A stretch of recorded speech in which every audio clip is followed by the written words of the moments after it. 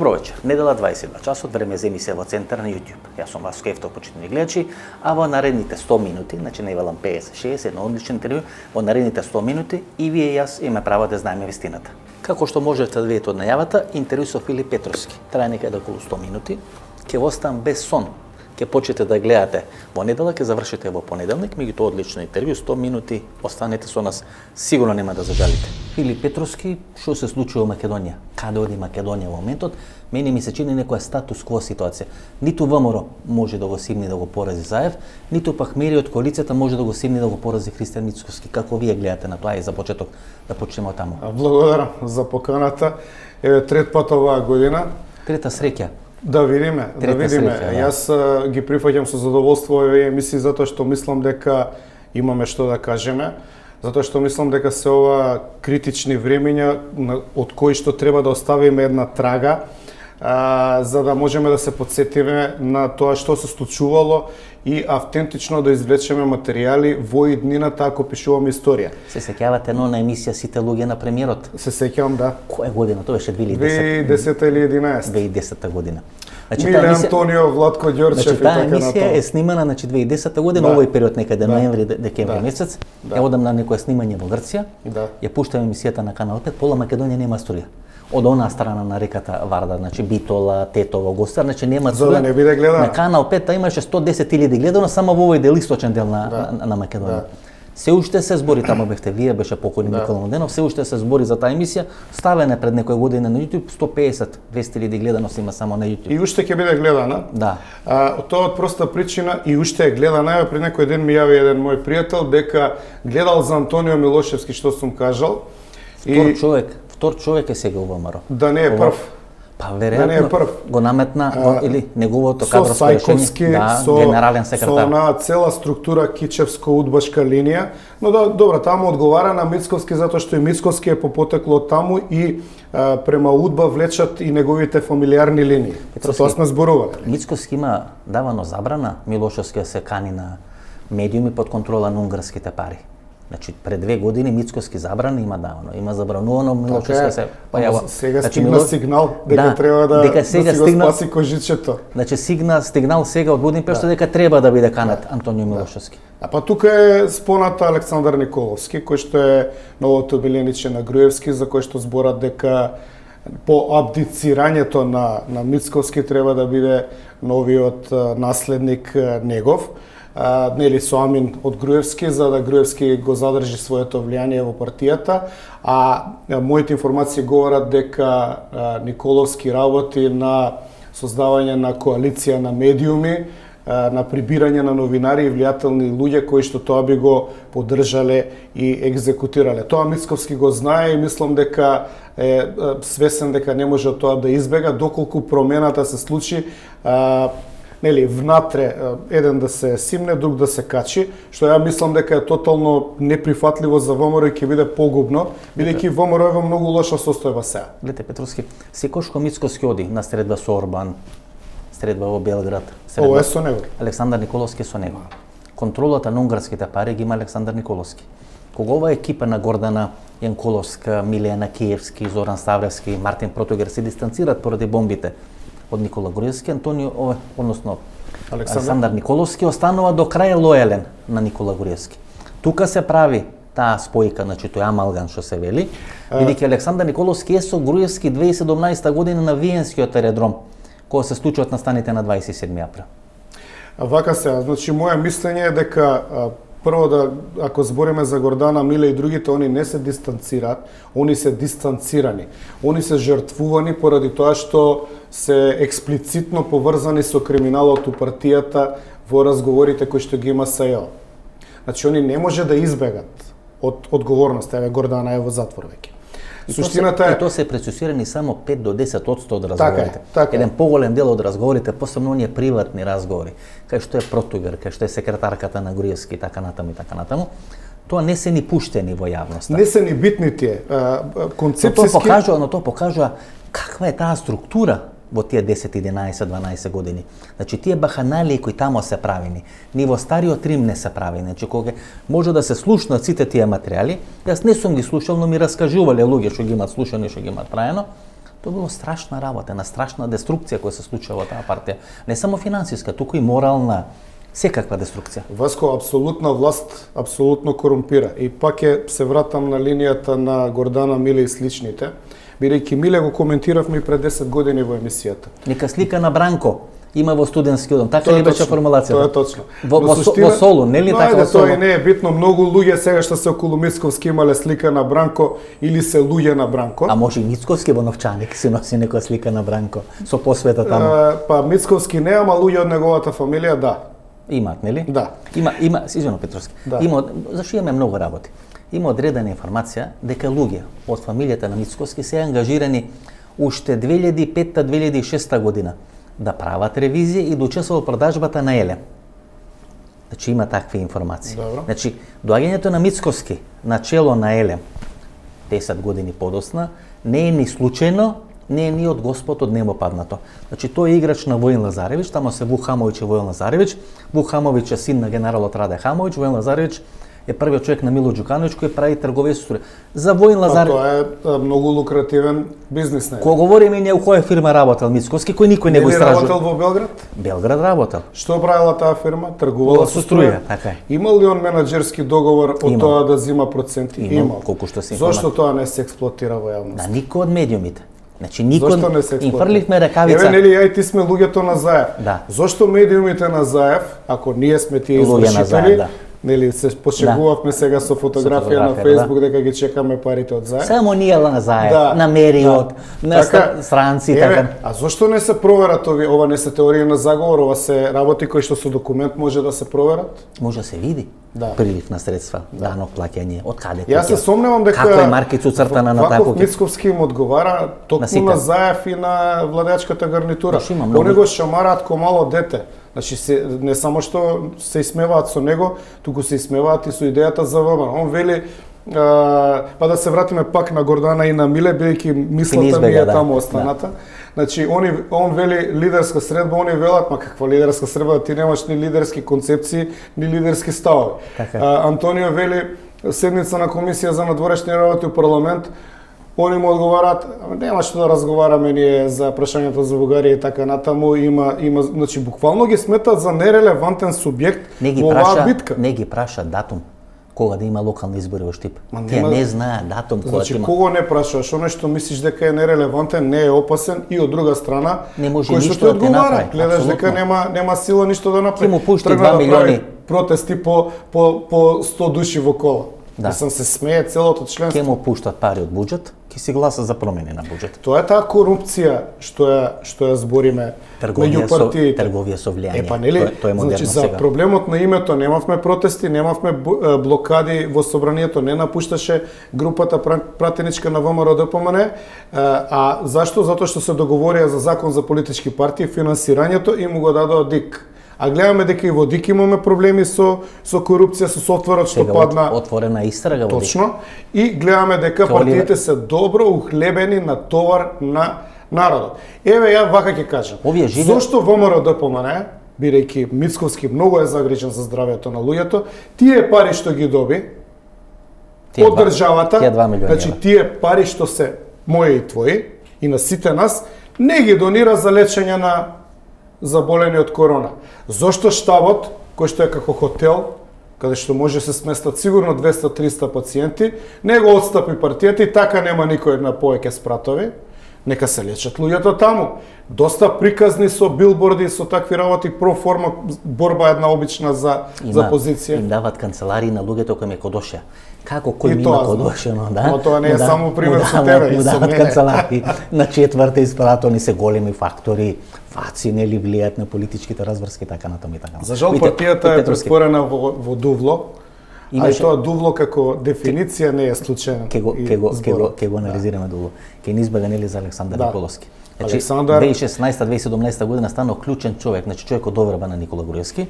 Тоа е Го носи- каде. Го но, вие, ваш наследник Игор Гиевски, така? Да. Кој вие заминувате, нели, Да. кој ви завршува мандатот, Игор Да. Гиевски. Потоа се случува оној конфликт 2004-2005 година. Помеѓу Никола Груевски и Лјупчо Георгиевски. Игор Гиевски бара оставка, бара смена на Никола Груевски. Да. Сега Игор Гиевски е клучен играч на Христијан Мицковски. Точно, ги води фирмите негови. Да, значи клучен играч, неговата да. сопруга Слободанка Гиевска, кој никој не е спомнува, беше председател на комисијата за попис после оставката на Весна. требаше биде директор на Телеком доколку победеше, победеше сега во да. Ги одржува комуникациите линиите со она како се вели пан христијанска унија и така натаму и така да. натаму. Тоа се... Ларис Гајзер таа групација кој ги пушташе бомбите и така. Mm -hmm. Натаму и така натаму. Значи Игор Гиевски се заминува и на негово место доаѓа Александар Николовски. Значи Александар Николовски го носи да. Владко Ѓорчев.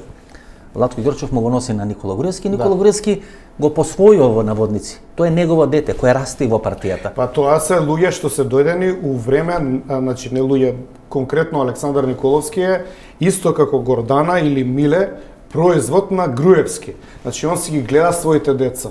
Ако некој дошол во негово време или бил во неговиот кабинет во финансии или му бил лојален по приватна линија, он ако треба за тие луѓе ќе ќе да не речем во наводници убие. Кире Тодоровски, го прави. Кире Тодоровски Ево роднински, да не речеме кумовски врски со Александар Николовски, тој е еден од осудените за 27 април 2017 година.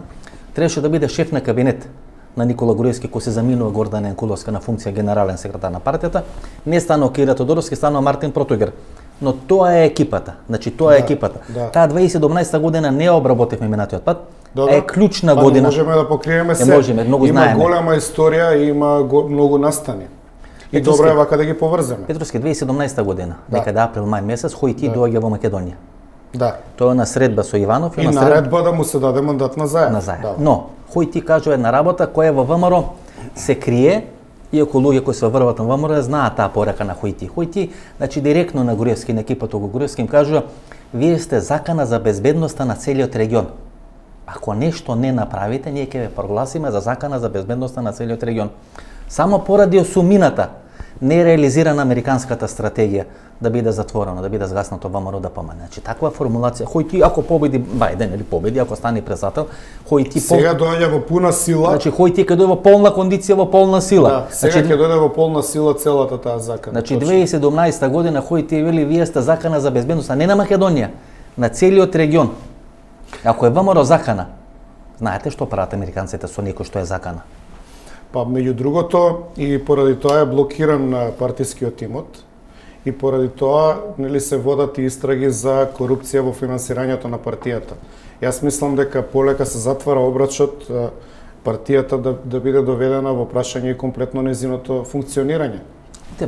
Никола Тодоров имаше една анализа која објави во Дојче Веле, мислам минатата не да. беше, што вели дека постои проект како некој тројански кон што се вели, постои проект за прелевање на ВМРО ДПМН во Левица.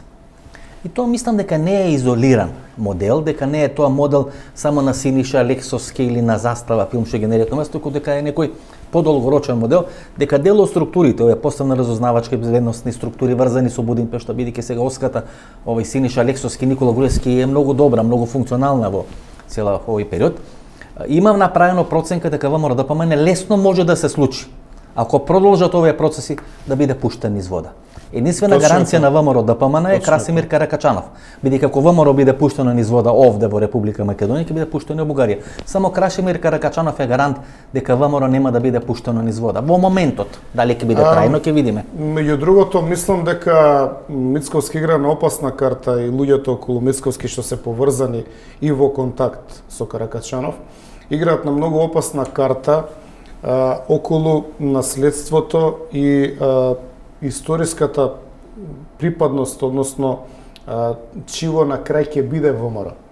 Мислам дека они недоволно ја разбираат играта што ја води Каракачанов, во смисол нели да се одзема делови од историја и да се доведе Македонија до 44 година, односно до асно на некаква нулта точка, односно почеток.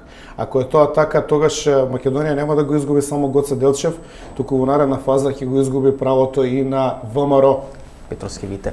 А ако го изгуби правото на ВМРО, тогаш тука ќе треба и партијата да го избрише префиксот. Зато велам, само Каракачанов ги брани, бидејќи ако ВМРО биде згаснато и пуштено Мене ми е тоа сомнително затоа што имам информации дека Каракачанов има отворена комуникација со човек до Мицковски, на кого што му ги дава детално информациите, значи го пумпа со информации за ова овој овој гамбит, дамин гамбит да речам шаховски кажано, во ова во овој развој на фигури ги пумпаат со информации кои што овие после ги ги вадат во Македонија и се представуваат дека ги бранат македонските национални интереси. Меѓутоа со дигањето на тензијата од наша страна всушност му направија услуга на Каракачанов, го вратија во политичкиот живот таму да стане повлијателен, националистичките прашања за кои што никој не збореше во Бугарија пред 2-3 години се вратија како топ политичка тема и се направи замена на теза таму. Значи, од една борба дали ќе падне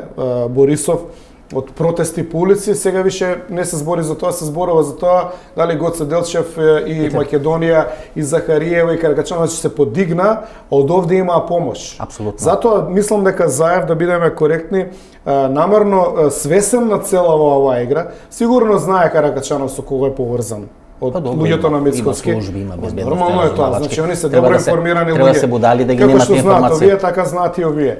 И според мене, он затоа цело време збори да се спушти тензијата, да не се влегува во игра, не се ствара конфликт, бидејќи во, во тој конфликт изгуби државата. Вите, во еден период ќе треба да се објасни моделот братска преградка, кој го водат бугарите 50 години, односно бугарските тајни служби, кој го одобрува Тодор Живков. Дел од нашите играчи, агенти на Македонската агенција за разузнавање, се уфрлени во највисокиот врв на бугарската држава, бугарските служби така натаму.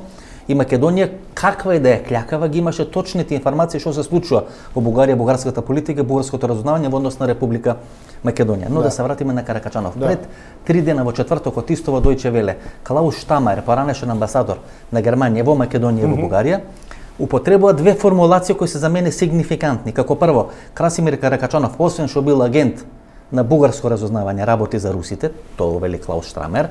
Значи, дипломатски окажано меѓу редо може да се прочита вели Каракачанов е агент или шпион на руските обавештајни или тајни служби. И второ, дека структури на ВМРО ДПМН имаат блиска комуникација со Каракачанов.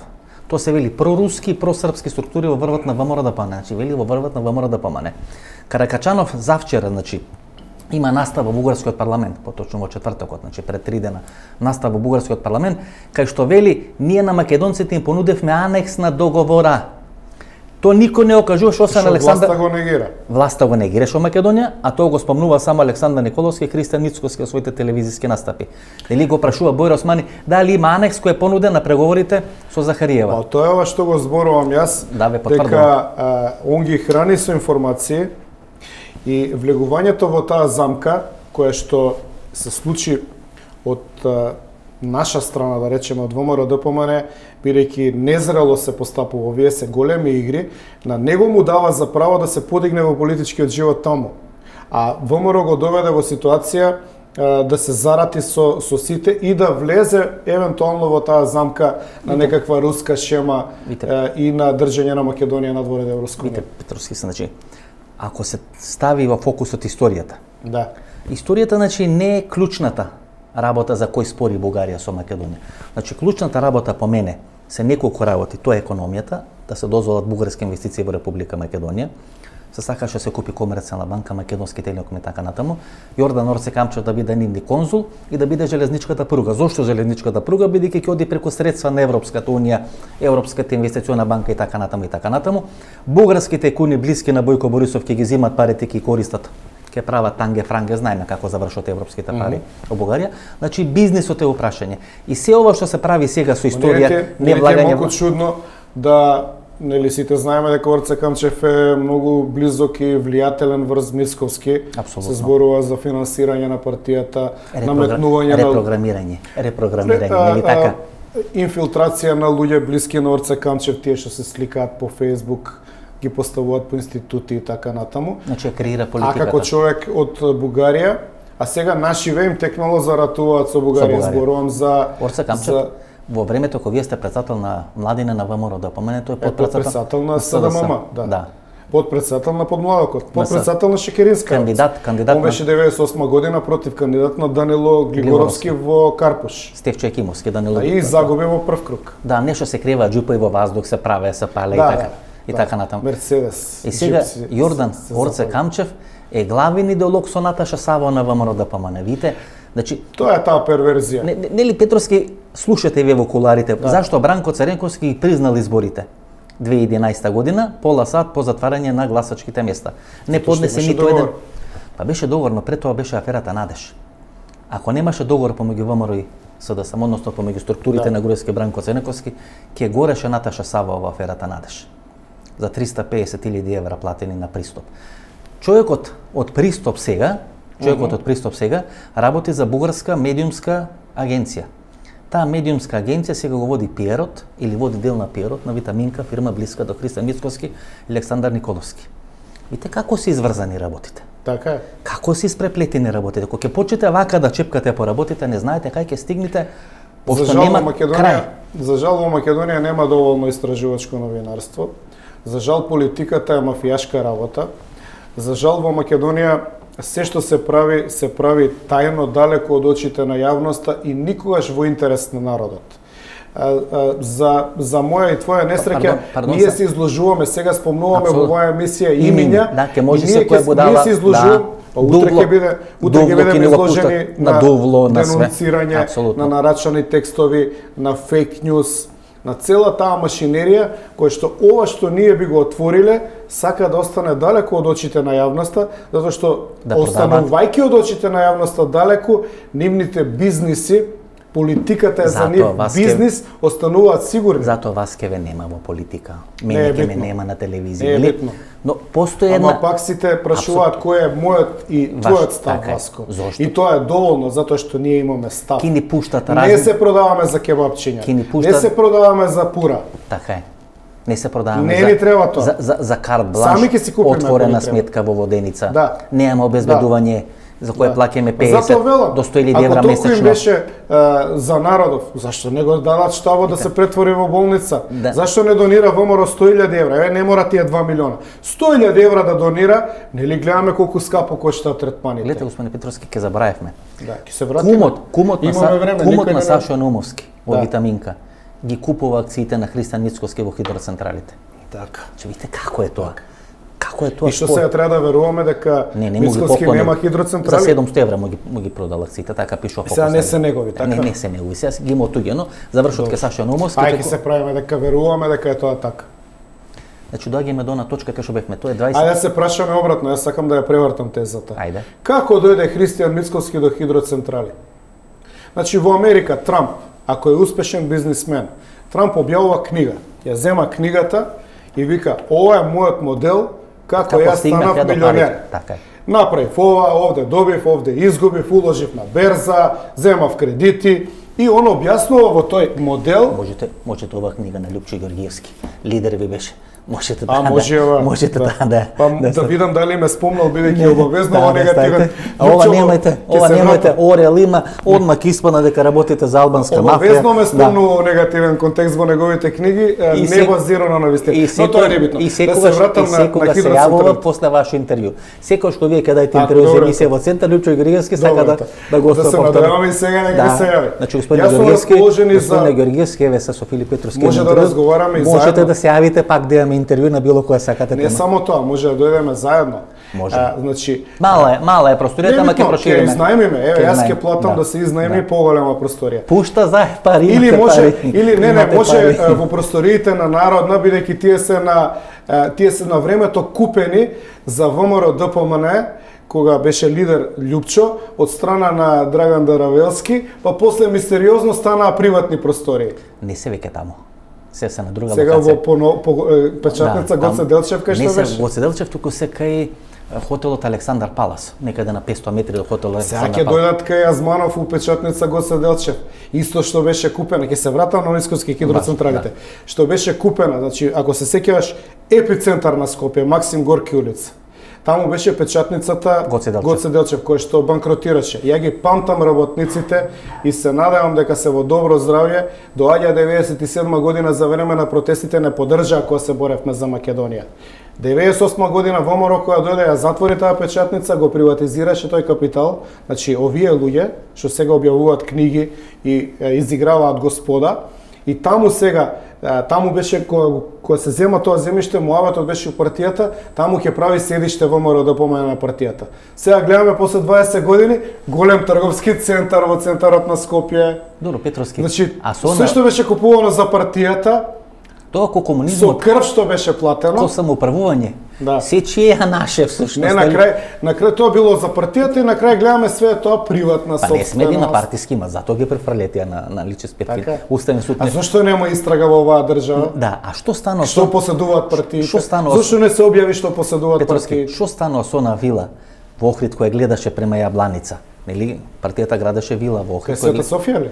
Да, нели она убава вила, Да, бидејќи Луќо остана во делвата. Груевски кој се скара со Груес, со Љупчо, нели правеа делова на имотот. Да, остана на ВМРО да помине. Значи остана И приватно се стопонисува, се разбира, никој никад не видел финансиски Бидејќи нели извештај. Луќо сакаше И нема ни да види. Сакал кога стани, кога отвори прозор. Многу ми е криво према што не донесов, пошто имаш вакви книги, ВМРО историското.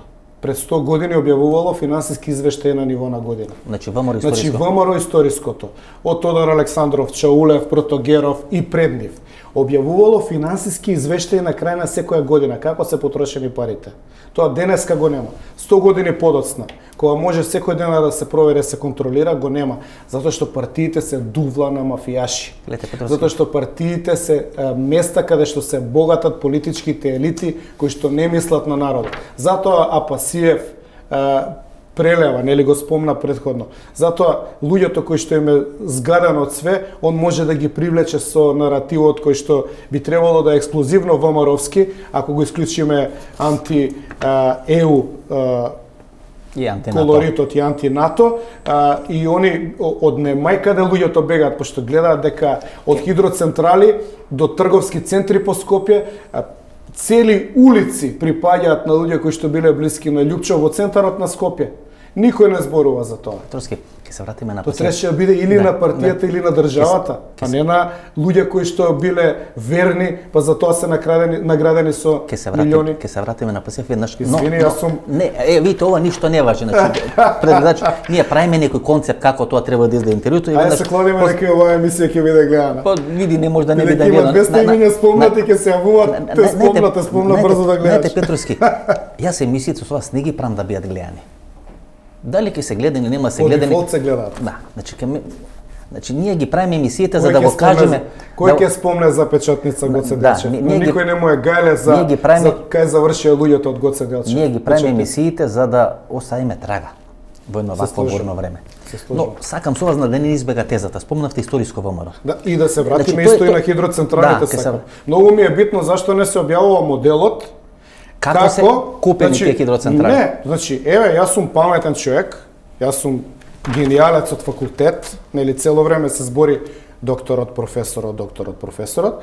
Јас сум гениалец, ја ги проучив законите у Македонија, ја ги проучив можностите, јас си имав пари и си направив хидроцентрали.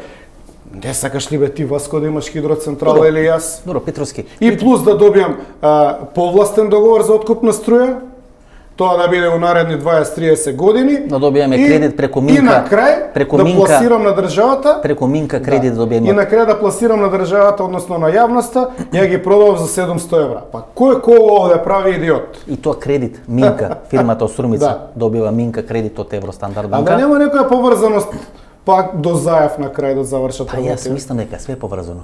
Бидејќи клучниот главниот ресторан кој е во Струмица е на Шурата или Баџановот како веќе тоа родниски, значи две сестри, значи на Баџановот на Ја знам многу добро Христа позадина, да. да, на Христа Мицкоски, кој е еден од луѓето кои со мотори возеа со заев. Сега дали вози, не знам, веројатно мора да се чува и да се пази. Минка фирмата, значи Минка фирмата добија кредит и правих мали хидроцентрали. Така. Таа е фирма значи од Струмица. Да. Кој дава кредит? Евростандард банка. Каде остана заробени девиз, односно средствата кои ги имаше добиено Државна изборна комисија за изборите на левица на Пасија во Евростандард банка. Некаде близу така случајно све се во Евростан, све во Да. Евростандард банка. Да. А Трифон Костовски и Коки Костовски се невини. Нив Да. некој ги лажи, ги кради. Цело време нив некој ги лажи. Еве они не знаеле, да, Да. знаеле ке се Ништо било санкционирано Да. тоа и така натаму и така натаму. Ако може да не си ги знаеш билансите во собствената банка. видите, кога говориме за хидроцентрали, за елем, директори и така натаму и така натаму. Има конкурс во време на Никола Груевски за избор на негов советник за енергетика. Мгм. На тој конкурс се пријавени Христијан Мицковски. Трете или четврт на Вторе. Вторе. Да не, но, не ти е но, добра се, но се откажува Христијан Мицковски, бидејќи во тој момент има судир на интереси. Да. Судирот на интереси е бидејќи работи со струја, работи со она фирма белградска, кај што го прави капиталот, Војан Лазаревиќ и целата екипа која стои позади. дури кога умира прво рангираниот на конкурсот, Така. Срце в удар ненадено. не се прави нов конкурс, туку Мантир Протогер му го Па препорачува за на... тоа треба да му поли свеќе на Мартин. Да. Така Мицковски Па добро, станува советник, ден денеска а од, со- а од советник станува релација. директор на Елем или на електрани на Македонија. Значи, една Има година едно наше дете, кое треба да биде ставено. Значи Да. тогаш нема судирни интереси, претходно има судирни интереси. А да нема цело време судирни интереси, Васко, знаеш ли што мислам јас? Јас мислам дека се подценува интелигенцијата. интелигенцијата на овој народ. Политичките елити, кои што по стоти пат ќе ги наречам корумпирани, мафијашки структури, кои што се договорени меѓу себе да си го штитат својот интерес, ти Акционерски- на лево, ја на десно. друштва, да. класични. Значи, политичките елити сметаат дека овој народ е прост, не е информиран, дека може со пропаганда и лажни вести да го држат во мрак и дека ќе си ги остваруваат своите интереси бесконечно. И како што гледаш, во многу успеваат. Колку има вакви емисии, дуели или дебати во оваа држава, каде што отворено се дискутира за некои прашања. Нема. Петровски, Се е затворено од Знаете што ќе направат сега? Наши бивши пријатели ќе ангажират и ќе ги натерат да плюкаат по нас. Ако да? Пошто ова интервју, Пошто? пошто ова интервју е поако од претходните две. Ако првото беше најдобро, ако првото беше најдобро со најдобра енергија, јас ви гарантирам дека овие први пола сат, 30 и нешто минути, од ова интервју се подобри од првото интервју. Бидејќи кажуваме работи и има енергија, Васко, јас зборам искрено, од Мите. душа, ја немам очекувања. Тоа е многу, Ако- ако значи, говорите- нема како да ме купат, Ако нема како да ме амортизираат. Ја не го правам ова за утре нешто да станам. Ја ова го правам затоа што мислам дека народот треба да знае и ќе го гледа ова и, и По 10 40-та, 50-та Така година, еден ден ќе ме нема, ова ќе остане. Ова е мојата заоставштина. Петровски, спомнавте ВМРО, историското ВМРО. Да. Значи има одреден, вие, вие сте знаете. Ја многу сум ја проучувал со историјата. со Зоран Тодоровски сте имали и с- комуникациите. Па Зоран нели мене ме предложи Да, да биде за директор, да, на архивот на Република За Македонија. он требаше да отиде во пензија и а, идејата да бидам директор на државен архив, согласно тоа како гледам на документацијата и историјата, сметал дека најсоодветно да сум таму. За жал, он почина. Видите, јас имав една емисија што славиме на 23 Добро, и тоа всушност не беше емисија, туку беше моја анализа. добро. Кај што сакав да кажам, некои работи кои мене ми тежат ко, ко македонец. Јас сметам дека историското ВМРО е уништено до 908 година. Точно. Отприлика. И дека тоа што е формирано 1918 или 1919 година е проект на бугарската држава и на бугарското воено разузнавање, кај што е Ванчо Михајлов и така натаму и така натаму. Панчо, покасно доаѓа, тогаш е се уште млад. Тогаш е Тодор Александров. А- Александров, Чаулев и Протогеров. Протогеров. Тоа се офицери на, на бугарската војска. И ние треба да Да немаме Калени офицери од Првата светска, светска војна. И ние не треба да имаме комплекс ко македонци. Не. Да, дел на македонците родени овде се декларира како бугари. Не, То- немаме и, комплекс. И, тоа не е спорно, значи бухарите може би имаат право, но немаат право еден цел народ поради 100, 200, 500, 1000, 2000 луѓе да го декларира дека има бугарски дека има бугарски корени. Но со ова сакам да издебатираме една работа. Да, не влагаме во историја пошто Да. ќе не однеси тоа. Можеме без проблем. Можеме, но објаснам. сум на сигурен терен и имам Да. многу јасни На Кичевскиот конгрес, да. 95-та година, од никаде доаѓа предлог ВМРО да има континуитет со историското ВМРО. Кичевскиот конгрес кој треба да биде втор конгрес на ВМРО да помане, од една станува 11-ти конгрес. Десети. 10-ти конгрес на ВМРО да помане. Да. Чива е идејата? ВМРО да помане, да прогласи континуитет и со конгресите на Ванчо Михајлов, и со конгресите на Тодор Александров, и со сите претходни конгреси. Чива е таа идеја? Вака се, значи... Ви бевте делегат, така? Точно, да, делегат бев во Кичево, 23 години, тоа ми е првиот конгрес. А, сакам да кажам дека 908-9 замира историското ВМРО, од една проста причина затоа што после Илинденското востание е направен извршен елитоцид. Убиени се неколку илјади интелектуалци кои што го воделе движењето, отпорот, односно борбата за извојување автономија или создавање на посебна македонска држава. Значи, македонски значи, ликвидирани се сите. Значи, на- што се на Да, најголем дел што биле промакедонски на, пар најголем дел што биле учесници во Илинденско востание, војводи и така натаму се а, ликвидирани. Од кого? А, не, неовисно дали од србите, дали од турците, дали од грците, дали од бугарите, значи имало невиден масакар. Овде е направен елитоцид. Значи, збориме за македонската кој елита е значи масакрирана. политичката и воената елита, да речеме, нели, како овие командантите на УЧК, сите биле и овие нашите команданти имале своји чети.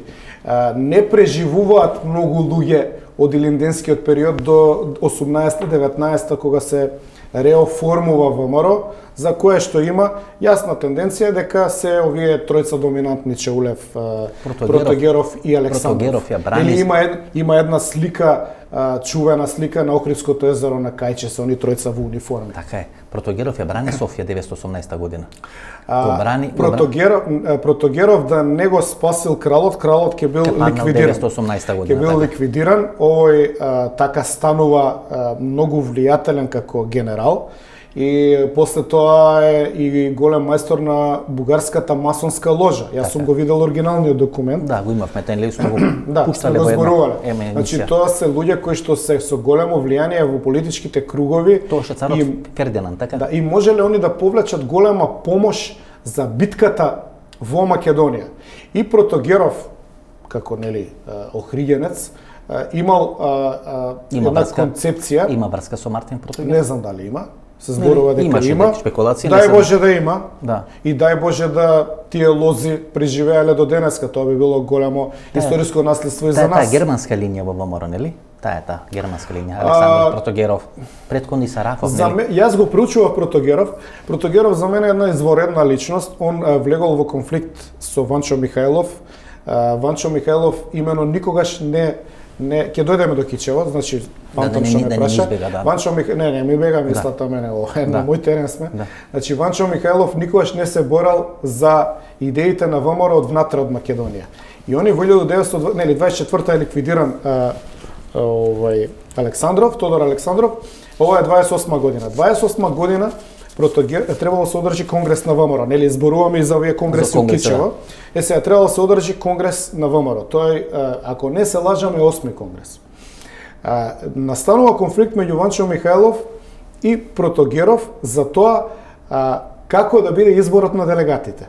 И они дале циркуларно Значи, исто- писмо. Исто ко исто. исто ко сега. Значи, истото проклетство го прати ВМРО ДПМН до ден денес. Кој ќе избере ја делегати? земавме си, Мицкоски или мери од коалицијата? значи, кој... или било кој. Значи, си го земавме изгледа про- проклетството. Значи, пратен е циркулар до Струмички округ, Скопски, цела Македонија. Значи, зборуваме е, за целата распорчена Македонија, да се одржат мини конгреси и да вратат листи на делегати.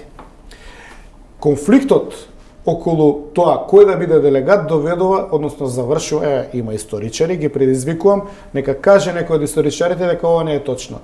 Конфликтот околу изборот на делегатите завршува со ликвидација на, На Протогеров. Протогеров во меѓутоа сакам да ти кажам едни многу битни елементи за македонското прашање околу позади неговото убиство. Значи, завршува со негова ликвидација во Софија. Имал конфликт, он сакал да ја води битката внатре во Македонија, Ванчо Михајлов сакал да ја води од надвор. И никогаш не дошол Ванчо Михајлов во Во Македонија. Македонија. Ја водел секогаш организацијата од надвор. Од Софија. Ели, Софија, Истанбул, Рим. А, Така е. Она што е што е за нас битно е да да да знаеме дека за делегатите се вршени убиства. Значи конфликтот околу тоа како да се одржи конгресот довел до убиство. Значи, и второ, Значи Петровски сакате кажете дека е опасно да се биде делегат на Конгрес на ВМРО. да, опасно е. Па и сега имаат јаден ќутек. 2003 година кој биран Груевски, Да. ве носат на Ги носа, кој што се ве ве вас на Стретезеро. Не, не, не. Затоа што за мене знаат дека ја не се кршам. Покојни мујо ги има Нити се носено, ги има покојни мујо носено Има носено. делегати на сред Има. Конгрес Има. да гласат, да ги убедат да гласат. Не на сред конгрес. На сред езеро се. Тактички се тактички се одржуваат конгресите два дена за да има една ноќ за обработка. За преспивање да може да ги обработи. за обработка. Да. Таа вечер овој господин бараше се види со мене. Колку ака фино изгледа. Еве. Ко Никола, ко Никола Тесла. Еве нека Ко Никола- каже ко дека Ни- да ко да Никола- мислител. ко Никола Нека Тесла, каже да. дека не барал да се сретнеме дента пред да се гласа Груевски Јас во својство на делегат во Охрид 2003 да се сред мујо дојде ми чукна на врата. Лјупчо сака да се види со тебе. Ја му реков ќе се видиме со Лјупчо кога ќе заврши гласањето. Таа вечер се превртени, Маријан Ѓорчев исто да го повикаш да ти го кажева. Таа вечер се превртени 100 делегати и победи на Сила Груевски. Да не беше физичка интервенција Председател 2003 година ќе беше на ВМРО да помене Маријан Ѓорчев.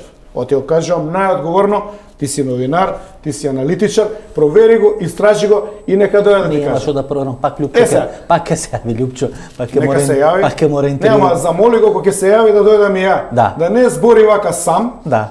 ќе дојде да ми ја, па ќе збориме, нека биде една интересна емисија, да видиме што се правило во ВМРО ДПМН и што е различно од историското ВМРО. Како- Меѓутоа, главниот проблем по убиството на Протогеров што е 28 година? До 28 година, значи има едно движење во, во цел свет, посебно изразено во Европа, од 18 до 28. Тоа движење е дека Македонија и македонците се неправдани.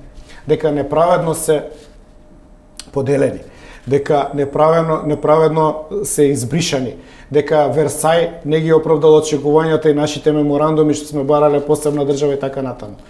Тие 10 години ВМРО преку својата дипломатска мрежа има остварено редици контакти и има залобирано, односно фатено во својата мрежа, као што сега албанската американското албанската лига фаќа конгресмени и сенатори во Америка да се залагаат за прашањето за голема Албанија Таму и за Албанија Таму е воопшто. Стојан Христов.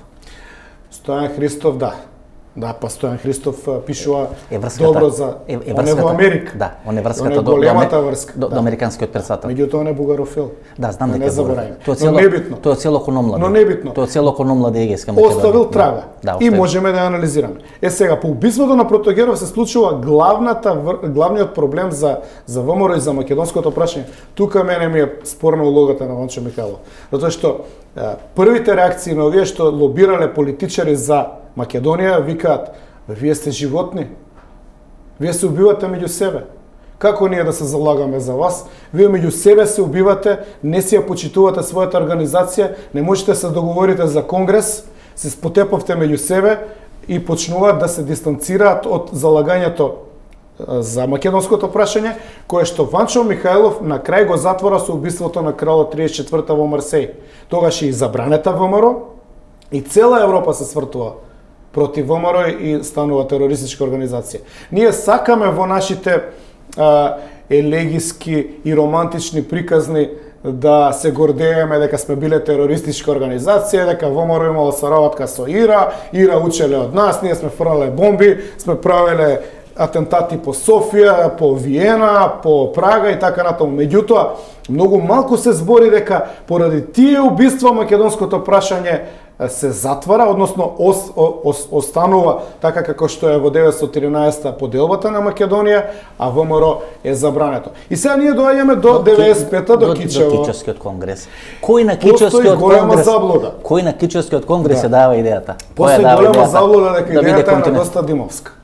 Да, цело време мислеве дека е на доста. Ја мислам дека 99% од членството мисли дека Доста димовска. идејата е на доста Димовска, дека Меѓутоа, тоа со идеологија се бавеше, да. нели да обезбеди една близкост со Бугарија така натаму. Доста не е не е тајна, беше блиска со Бугарија.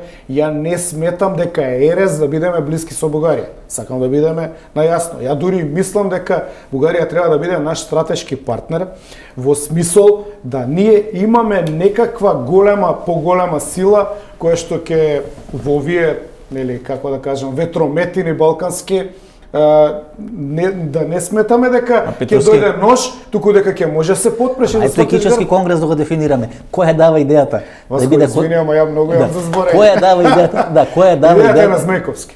Борис Миковски. Да. Идејата е на Змејковски. Значи Миковски ја дава идејата. Да. Вие бевте во архивот, Еве така? нека Вие бевте, да се го прашаш. вие бевте во архивот. Да. Има досие на Змејковски? Има досија, ама како жртва. Избришено е другото? Не знам дали имал друго. Можам да ти потврдам дека стотици илјади досија се избришани. Можам да ти потврдам дека мене ми се чини дека овие досија што се дадени во архив се исто така проект. Чистени се со години. Ова нашо дете Димитар Димовски дете на Борис Миковски. Да. Во, Партнер во во моментите кога станува Кодош и соработник на УДБА, под досието Глумец, нели знаеме за тоа досие, тоа е. Тоа го отворивме Тоа, првата емисија. тоа го има и во државен архив. Тоа го објави Зоран Божиновски на интернет. Да, врз база на тоа досие Глумец, подоцна станува аферата Шпион. Ама врз база на тоа досие... Тој ги аферата, Тоа што? досие во време кога Димовски, Димитар се забавлja, односно е е дечко на керката на Змејковски. Значи, дете на, во наводници, дете Да, на Змејковски. Па Дори тоа е екипата Змејко, а, Иван Соколов, Димитар Димовски и Александар Диневски. Значи, тоа е таа Е, екипа. сега ќе се јави Диневски, он сака вака да ги значи, коментира значи, емисијата. тоа, значи, тоа е Да. таа екипа. Да.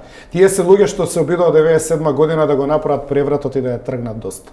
Димовски. Значи 95 година Борис Мековски го дава предлогот за континуитет. И, и континуитетот се усвојува со декларација ВМРО, ВМРО ДПМН презема на себе дека е историски наследник на а, ВМРО. И гледате, И подосна тука мислам и денеска дека конфликтот и до Каракачанов тоа Да. ќе дојде. Е, Подос- они ќе сакаат да го избришат ВМРО од подоцна, Македонија. Подоцна. Да. Шефот на македонска тајна полиција, во Да. тој временски период, значи тоа е некаде 95 година, Слободан Богоевски, подоцна, значи после Беше у партија кај беше во партијата ВМРО вистинска или како се нарекуваше таа партија, таму беше Борис Стојменов, таму беше Борис Змејковски, таму беше Слободан Богоевски. Ајде ти кажи ми, дали може такви имиња од таков калибар случајно да се најдат во политичка структура? Нема ништо случајно во Македонија Петровски. Но, Ето така. ќе одиме чекор понатаму. Богоевски беше осуден за одредена афера Меркатор, Да. водеше преку Министерството за транспорт и врски. Да. Тој во време на Милија Накиевски и таму се главни овие играчи. Не велам нека те учествуваат во аферата, но главните играчи на Милија Накиевски се Димитар Димовски, Па, пак се истите луѓе. Панче Тошковски. Така е. Значи тоа е екипата.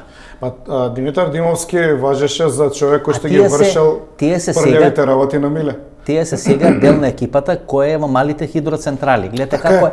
како е све измешано, Така целиот Епа, еве, еве, а, еве, предмет за истражувачкото новинарство, ама и бога ми за органите Димитар- Димитар- на прогонот, како е најубавата земја во државата оттуѓена за хидроцентрали, при што не се внимава за еколошката катастрофа што би настанала во тие региони каде што се свртуваат рекичките и се и се создаваат централи за личен профит на тесна екипа на луѓе.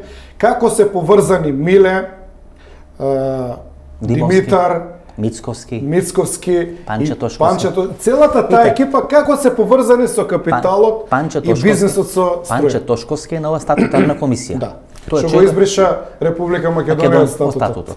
Тој го прави Па статут. се правда немало да им го признаат. Тој го прави статутот, по кој ќе се треба мажи треба да го да го остават Република Македонија, па нека се усуди некој судија да ја избрише од регистар во Панче Тошковски го Ама, прави го прави го финанси- прави статутот, го Да. прави статутот, врз база на кој Мицковски ќе ги одбира новите се делегати. фалеше дека е демократски, а всушност е Ќе авторитарен. треба да ги одбира новите делегати Со- на да. конгрес кој би требало некаде наредната година да му изгласат доверба. Значи да има нели два Да, конгреси. не, татините синови, Панче Тошковски, братучедите Панче и така Тошковски.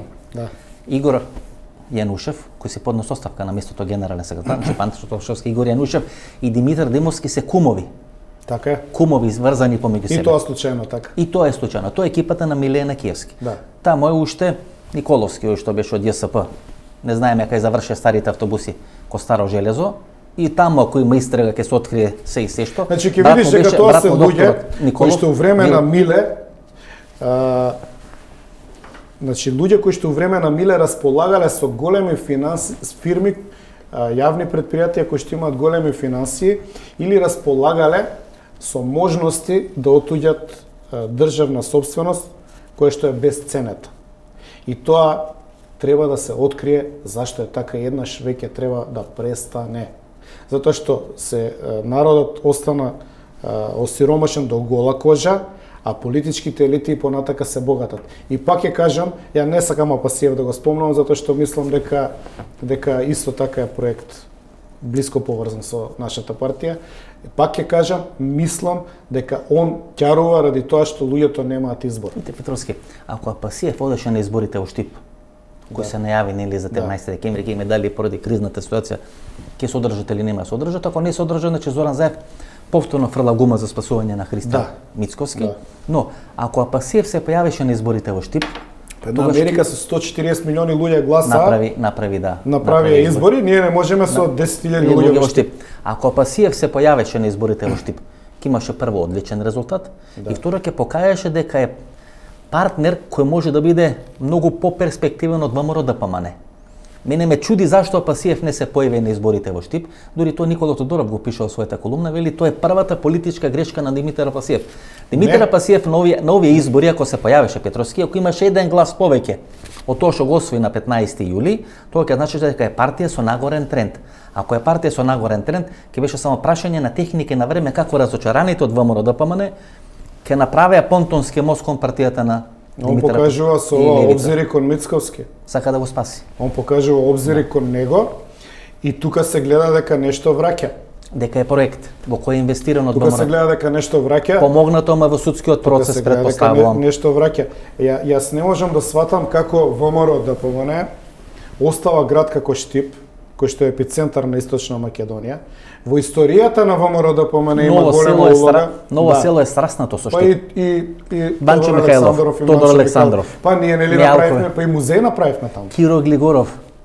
Дедо, Мих... таков Дедо Михаил, значи го- гледате цела елита. Таков град го Потекнал. оставаме. Зошто да го оставиме? Па не само што го Зошто ставите. да се повлече? Значи- Зошто велиме Заев не чини, и два- стварно не чини. 23 Значи да не бидам погрешно сватен, стварно не чини и на крај му го оставаме градот на него. извинувам, Па 23 октомври кај беше прославата? 23 октомври ова година прославата беше во Штип. Па нели возеше од Скопје до таму? Во Штип. Па Да. нели во Штип Нели- рече ама, ќе се брани значи, Македонија. Нели он ја Македонија требаше кампањата. да се брани во Штип. Мицковски ја почна кампањата. Возеше према Штип. Таму искачаа тие другарчињата негови што ги има наместено комитетот и пратеници што ги постави, кажуваа готово катастрофално ќе го поразиме све. Ги видоа истражувањата дека немаат кандидат кој што е ни приближно со овие за жал, за жал таму има големо влијание, тој што е кандидат, човекот ја не го познавам, има големо влијание, тој е од СДС. Значи не може да се најде лик Кој може да му се кој што може му се спротивстави оној Мицевски пратеникот Координатор на на, на. Мицковски, значи ја не викам координатор на ВМРО, него пратеникот на Мицковски. Мора терминолошки да ги разјасниме работите. Пратеникот на Мицковски има помалку од 2% рейтинг Во Штип. во Штип. А е координатор на пратеничката група на Мицковски.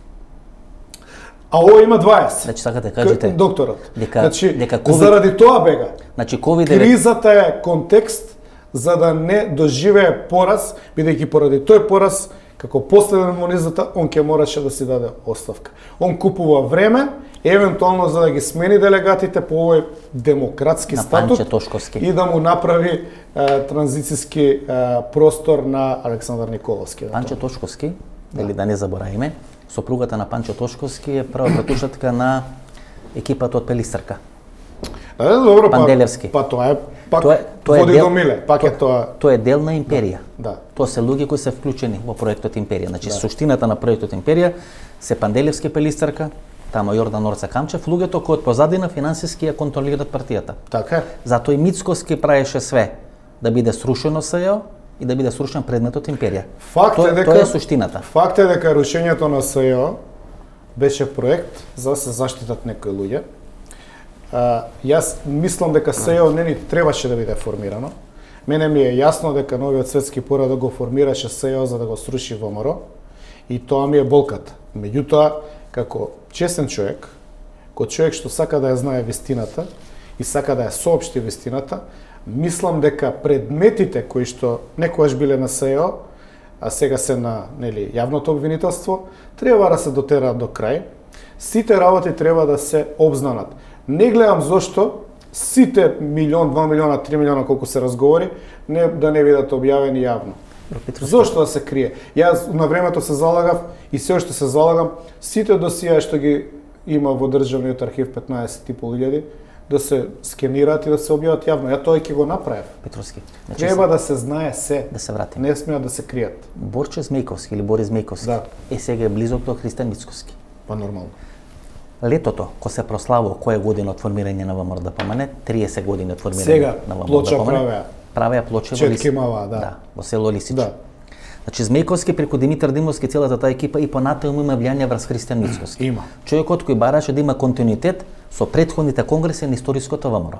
И кој беше пратеник кога се смени името и не кажа ништо. Не кажа Пола Збор, не кажа ни Тарчуловски, Да. не кажа никој. Па, нели? нели они Сите- големите сите патриоти. големи патриоти не, ни, направ... ни, збор не кажа, нити се степаа во парламентот. луѓето Ние кои- кисневме година дена на улица и, и не тепаше полиција Значи, гледате луѓето кои се на некој начин вградени во тој проект 27 а тој е пратеникот од БЕСА, сега Алијансата на албанците на Зедин села и алтернативата на БЕСА, односно на Африм Гаши, ќе бидат коалициони партнери на Христијан Мицкоски. Значи Да. луѓето поради кои патриотите лежат во затвор, сега ќе бидат коалициони партнери на Христијан Па нека гледаат патриотите во затвор затоа што и до овие избори и ден денеска се надеваат Пратеникот, пратеникот на БЕСА е пее албанската химна, ги- што е иницијална каписта на конфликтот. Пратеникот на БЕСА, Така е. тој од партијата на Африм Гаши. Така е. Главниот претепан за кој лежат е Зијадин Села. Ама Со нив прави ја Христијан пее Мицкоски. химната, Трајко Велјановски не му го исклучува Не му го микрофонот. исклучува микрофонот. Значи договорена работа. И Трајко Велјановски мистериозно некако не е, И не е сите- виновен за ништо. Да, Тала Джефери вели, Да. не е виновен Трајко Тоа е Велјановски. договор. Апсолутно. Затоа што овој му вика ја ќе ти го отстапам местото, ама барем да ме заштитиш. Петар Богоевски вели- што договори и Бет. Петар Богоевски вели на реформаторите вели дека Никола Груевски барал за 6 до 8 негови блиски луѓе, одредена Го знам амнестија, Ама помилување, не овие што се пратениците, него оние што ги бра... работат финансиските. финансиите. Амо не е финансиските Ристо работи. Новачевски кумот и затоа завршува затвор Ристо Новачевски, но е Трајко Велјановски според кажување на Петар Богоевски. Гледате, све е во основа еден договор. Васко. Значи, Све е во основа за, е, мене ме исклучува двете корпорации- За две секунди се исклучува тој Да, што пее. Трајко Велјановски може да го исклучи. Ајде и него исклучил. Кај себе тие мажи од ВМРО, тие 10, 15, 20 конгрес, Тодор Александров, ние сме го тепале крало 34-та, не смеева да станат една вода да му истурат на тоа. Која е врската на која е врската на Каракачанов со Христијан Мицкоски и Александар Николовски? Тоа не го одговоривме. Ајде, е нека остане мала мистерија, ќе снимаме пак. Каснеја, Емисија, но има директна врска. Ама еве јас е, е, што Има ме, директ- мене ми е мотивацијата да се да се види. Вите, Петровски имаше три Гледај хис- Вите, погубната улога на ВМРО. Од една страна шуруваат со Каракачанов, од друга страна шу- шуруваат со Пасиев. Странците гледаат, еве, нели условно, странците све аминуваат. Македонија нагура со сила во НАТО, нели, она досие Атлантис. Атлантик, Атлантис лика, Атлантик мисламе, не Атлант, Атлантис. Атлантик е досието кој објавено некаде 1400 страни. Летото оваа година. Наменски објавено две-три страни. А ја повикав да се објави сите 1400 Петровски. страни.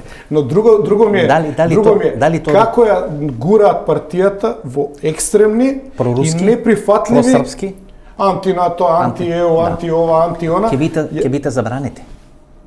Ќе бите забраните Се ко партија. надевам дека не, Значи, затоа ако што- остане Мицкоски, видите, ако остане Мицкоски на чело на партија, вие ќе бидете прво забраните партија. Ако случајно победите, ако случајно победите на Не некој може да се случи Не, не. Ако случајно победите на некои избори, може ли да победи во Трамп? Софија, во Софија Нема се ме- се менуваат во резултатите. Софија ќе слават. Бидејќи денот кога ќе победи ВМРО ДПМН на избори, вакво од ВМРО ДПМН, Христијан Мицкоски, телефон никој нема да им крева. Ќе бидете повеќе изолирани од Орбан што ќе Сега не му креват, нели гледаш Да, дека не му ги давале прашањата на Телма, па плачеше по интернет. Значи- не му ги да Еве ти кажи сега. Јас те прашувам. Па се заканува по Дали новинари, сум те- пишува Васко, пораки. дали некад сум ти кажал, кажи ми што ќе збориме и кои прашања ќе ми ги поставиш и дали ќе биде незгодно или не. на овој телефон се пораките на Мицкоски, кои јас не ги почитував, кои ја не ги спроведов. Може да каже. Кој не смееше да гостува на Алфа?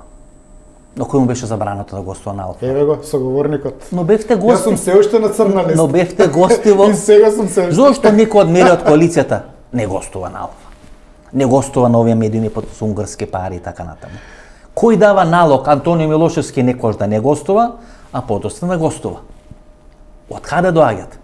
Кој го финансира Дувло? Како финансира Дувло? така. Како функционира Легитимни Дувло? прашања. Да. Еве, например, Дувло како функционира? Ние знаеме дека сега Дувло, ние знаеме дека вие кога објавивте фотографија, Дувло е мобилизирано.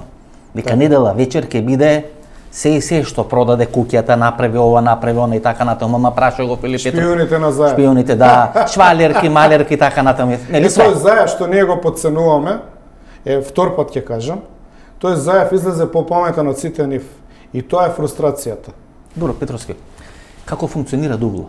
Ние еве неколку пати го отвараме прашањето. Да. Дувло значи штабот на ВМРО ДПМН, тајниот проект на ВМРО ДПМН за црна кампања. Црна кампања на Сакаш да социјал... ти кажам екстензивно, све од Па, детал. може како Треба. сака да. Да. Треба. Значи Мислам мораме треба. мораме да го демистифицираме проектот. Дувло. Кој го прави? Што, затоа што е, ме напаѓаат неосновано, шират постојано дезинформации за мене. Сега ќе ти кажам точно како функционираат сите работи. Кога почна војната во Украина, значи одцепувањето на Крим, Тоа е 2015 година. Да. А, тоа е скоро исто време кога почнува и шарената револуција. Нешто малку предходно е, Значи, значи ова е пред шарената Јас револуција. прочитав еден текст Војна на тролови дека Путин има куќа на тролови, тоа се околу 150 луѓе кои што ги плаќа милиардер пријател и другар негов. Тоа се деца кои што идат на работа за да создаваат, креираат јавно мислење на социјалните мрежи во врска со проблемот со Украина. Добро. Значи да И дефини тоа му го однесов на Мартин. Протугер. Да им објасниме. Во исто време Тролови, почнува- тролови се луѓе Да. Во наводници кои се безлични, кои се со различни имиња, Да. кои не се нивните Со лажни профили. Со лажни профили, Да. 150 вие што велите, и тие креираат атмосфера, креираат амбиент, креираат политика и Е, стратегија пишуваат, на Путин е добар, Украина е лоша, ова треба, она супер за анексијата. Значи, Значи, значи, се креира мислење, значи сега кај тебе, ако на, или кај мене на фотографијата што ја објавиме на Facebook, заедно, се појават едно 50 луѓе што ќе кажат, еј, супер сте, топ сте, браво, супер емисија, тие коментари ќе влијаат врз другите што ќе видат, кои што немаат став, да кажат, еј, па може стварно се добри ќе ја гледаме емисијата. Но тие ќе пратат Ако се појават 200. 100 лоши коментари, Така е. и кажат, абе, вие на Заев Купени, продадени, продадени. купени едно друго, а, може да се создаде кај дел од луѓето што не се упатени, перцепција дека ја и ти стварно сме земале пари од. Значи тоа е проектот. Е, тоа е пред. Вие тој проект го носите Ја кај му го Мартин носам на Мартин. Почнува, Вие сте, вие сте креатор. јас сум креатор, да. Па Петровски. Јас го креирам. Вие одите во црква? Во црква. Па многу грево имате направено. Не, немам грево. Ако го имате направено, Не, немам ако го имате доволно направено, грево, тука ме едно мало црквиче. Не, не, не. Одма дојдете се запалите на свеќа, пошто толку фамилии и луѓе се денунцирани од тоа дувло. Не, не, не, ама другачи беше принцип. тоа е таква машина Не. на фейк вести. Ама да на- ти објаснам. Ајде се. Да ти објаснам, таа машина е сега дегенерирана. Инаку, Зашо ова е цивилизацијска дегенерација? така е. О, сега што Ама и луѓето таму што работат се дегенерици сега. Значи, ја отворено го Ги кажувам. објавуваат на, на, на Твитер, ги гледаме ги- кои се на Ама Твитер. сега ќе станам популарен на Твитер ќе ќе пишуваат, Да. не е битно. Јас сум на ова спремен. Да. Значи, што се случува и зашто го нудам јас овој модел? Обратете се Да на госпожа Марга. На госпожа Марга, поранешна Овие на. Синиша ли? Да, на Синиша Лексовски, обратете се, поздравете. Она е желна за внимание. Секоја емисија моја коментира. Нако, Секоја си- емисија коментира. Јас сум блокиран, не може да се обратам. Така, обратете се на целата на целата таа екипа. Вака. Значи, она што треба да го знаеше, дека во ВМРО тој февруар 2015 владее паник. Тука се веќе бомбите на Заев. Почетокот на бомбите разговорот, значи 31 јануари е пресконференцијата на Груевски. Е се, значи почетокот на бомбите а, а, почнува така а, силно, така сериозно организирано на, на социјалните мрежи, бидејќи нели Заев му ги кажува разговорите дека ги има на Груевски некаде септември. Септември, октомври, ноември, декември, јануари, февруар, значи околу 6 месеци подготовката на шарената револуција преку фондовите на Сорос, и преку овие капетаните како што се овој што даде оставка Павле Бугоевски. Значи они пет години работе од 2010 негде до 2015 да формираат инфраструктура, нели она срджа Срđа Поповиќ, Да, група. прирачник за Да, револуција така е. и така натаму. И таа структура е всушност првата трол структура во Македонија, Проба- која што 6 месеци Проба со отпор на Бранко Црнковски не Значи, успеа и они така се натаму. спремаат 6 месеци а, да она што Заев ќе го објави како разговор, го а, гурнат на социјалните мрежи со коментари, со споделувања, со представување на Груевски како криминалец и така натаму. И сега тоа почнува. Моментот кога почнува, значи февруар 2015, јас сум вратен во ВМРО во февруари 2012. Значи февруар 2015 се 3 години, 36 месеци, јас се немам видено со Груевски. Мене веза ми беше Мартин. Португер. Да, до, демек, ова е нивото на Груевски, Мартин е тука, ти можеш до тука. Значи, и, и, и Горе вие- не можеш. Значи, и вие и Мицковски сте луѓе на Мартин Португер. Ја не сум ничив човек, меѓутоа Не, не, не, он беше сум. опред и, Да. и значи ја имам за Мартин високо мислење. Сериозен оперативец, интелигентен човек, добар работник у тоа време и така Дава, дава налог, дава зелено светло за Дугла да се формира. Друго се случува. Значи, а, почнуваат бомбите, јас одам на Телма на топ тема, каде што го вадам досието вака на ВМРО и викам, вие имате разговори од СЕО, меѓутоа историски, еве како е следена партијата. Ја тоа го правам од проста идеолошка Кој е досие? До која година? 90-тите години? Тоа е досието што е, после го објави во црните страници на УДБА како е следена партијата и Сина како се птица, правени сина птица и така. На- Значи како се правени оперативни планови за за уништување на партијата, односно симнување од власта кој дојде или недозволување да дојде на власт. Значи користење на тајни служби против. ВМРО ДПМН. Сега со Дугло. И сега што се случува? Знам дека те интересира за Дугло. Да. Меѓутоа сакам да го објаснам убаво Ама се не можеме два сати да чекаме. Ајде кажи. зошто да не можеме? Кичевски конгрес чекав 10 минути се уморив чекајќи. Ајде за Дугло да слушнеме. Е сега, значи по таа емисија на топ тема мене ме повика Груевски. Значи Петровски, ако се појавите на Телма, може и Мицковски ќе викне, вие во погрешна емисија доаѓате. Епа, а, после таа топ емисија тема а, во февруари 2015 ја не сум повикан 5 години во топ тема. Тоа ви уништи кариерата. Изгледа. Треба значи Телма уште два пати да ве покани и може лидер ова ланда вас Ја ќе ја ценам дека направи. е доволно кај тебе да се кажат овие работи за да остане трага за историјата. Е кога ме викна од мене, ја, а, он беше а, вака ми рече, фала ти што излезе, бидејќи Јове Кекеновски кој што е сега коалиционен партнер на Мицко беше излезен во таа емисија против е, ВМРО ДПМН, збореше против Груевски, беше дел од шарената и така дале. А од оваа страна имаше уште еден албанец, не се сеќам како се викаше, и јас со досијето на он, вика фала ти. Ја му викам нема зашто ми се заблагодаруваш. Ја тоа што го зборам за историските конотации на ВМРО и ВМРО ДПМН не ги правам ради тебе, ги правам ради себе и ради моите убедувања идеолошки.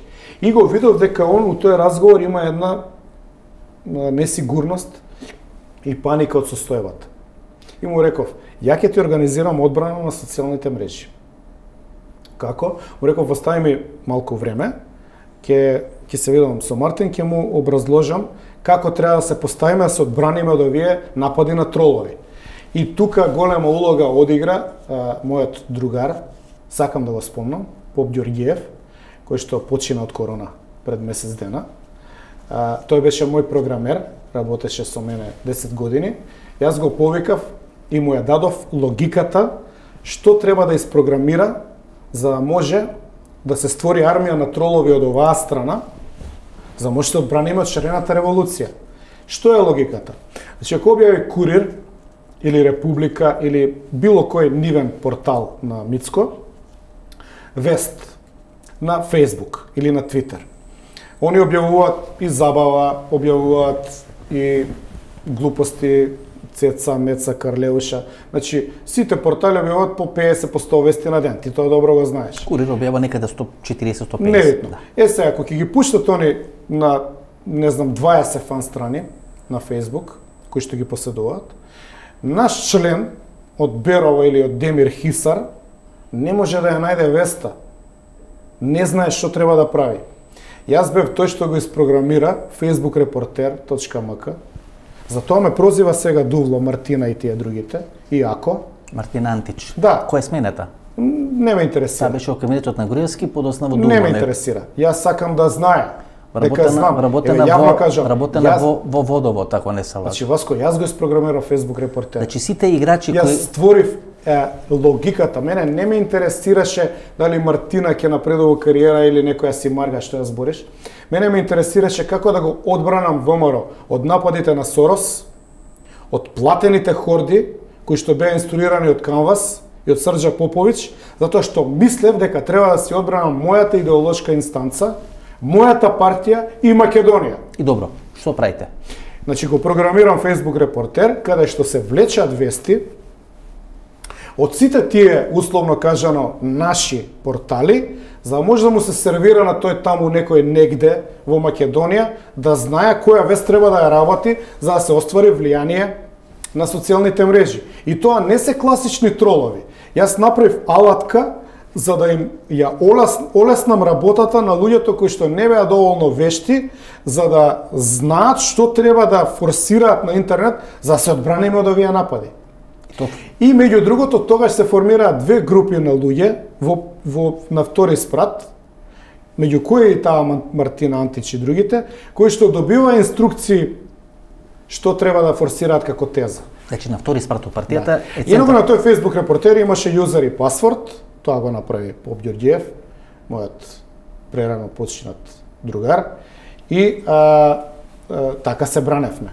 Умеѓу време се издегенерира, Добро. Затоа што тие дугла почнаа да ги користат за напади на мене, Колку по личност. Значи, Колку- требаше да се користи таа структура, да се брани идеологија, да се брани политика и да се има а, јасна перцепција што се случува тој ден. Тие луѓе беа вработени по водовод, по система Да, кавадарци, точно. по значи по сите тамо фирми кај што Крлежи. може. Да. Крлежи. Значи тие луѓе беа вработувани и беа користени во работата на Дувло. За кој број на луѓе станува збор? Па, а, значи, ако збориме за дувлата кои што се формирани таму кај таа Мартина, тоа се околу 50 на луѓе. 50 луѓе. Меѓутоа, Со колку лажни профили располага? Мојата концепција беше поинаква. Бела дека располагаат со 2000 до 2500. Сега не знам каква е состојбата, бидејќи сега они се користат како алатка за оцрнување на неистомисленици со, со Кристијан Мицковски. Да. да. Значи они не се не се луѓе кои што креираат мислење, дебатираат Не, за некоја тема објективно. вода црна кампања. Значи гледа таму шефот што е на тоа дувлото, он Сабајле пишува тези Три тези ги и пишува. тезите а, се а, ставени во фолдер. Фолдерот, како се викаше, а, имаат специфично име на фолдерот, као денунцирање нешто така, и они ги вадат од таму тезите и веднаш тие тези се појавуваат на Facebook, на Twitter и секаде кај што И по имаат и влијание. по порталите. По порталите. Значи да, тоа е тоа. Да, вие, они го имате и проучено моделот на тај МК. Гледате, 40 нивни портали или 60 нивни портали Па кластери од вести прават. поделуваат една иста вест И одма се качува вест. и нормално ги појават горе на алгоритамот. Значи, тоа е многу сериозен модел, финансиран од Будимпешта. И скап.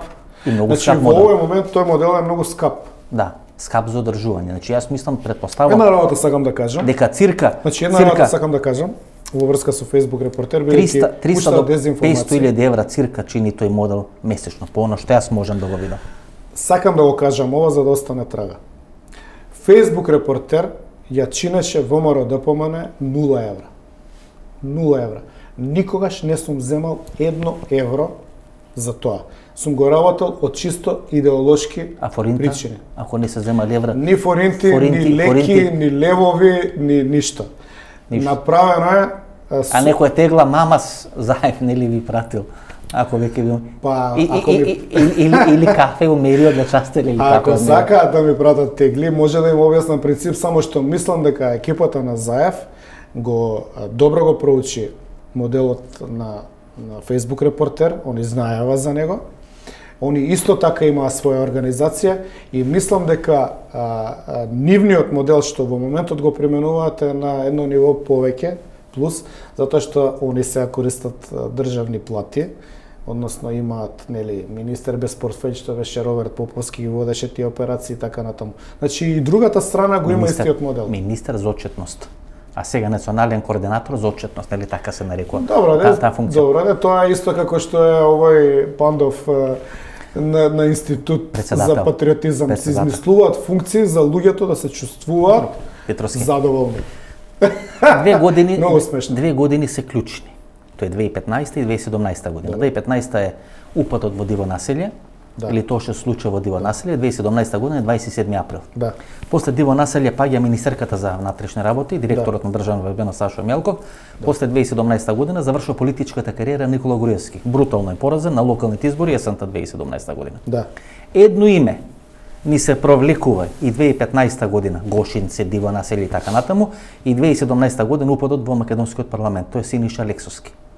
Да. Значи, го нема Сашо Мјалков, ја нема Гордан Енколовска. Викаш Синиша, треба да кажеш кој е човекот. Синиша Тоа е човекот на Иванов. На Ѓорги за, Иванов. Задолжен за безбедност. за безбедност. Значи, сива еминенција во агенцијата за разузнавање, тој ги наметнува луѓето, дали Зоран Па, Иванов, дека и Наки дали Наки го поставил и така да. натаму, но и битен советник за национална безбедност во кабинетот на Ѓорги Иванов. Значи, тој ни се појавува. Да. Тоа кажат луѓе, сведочат луѓе, значи има информација на луѓе и за Гошинце, и за Диво населје, и за тоа што се случува на 27 27 април.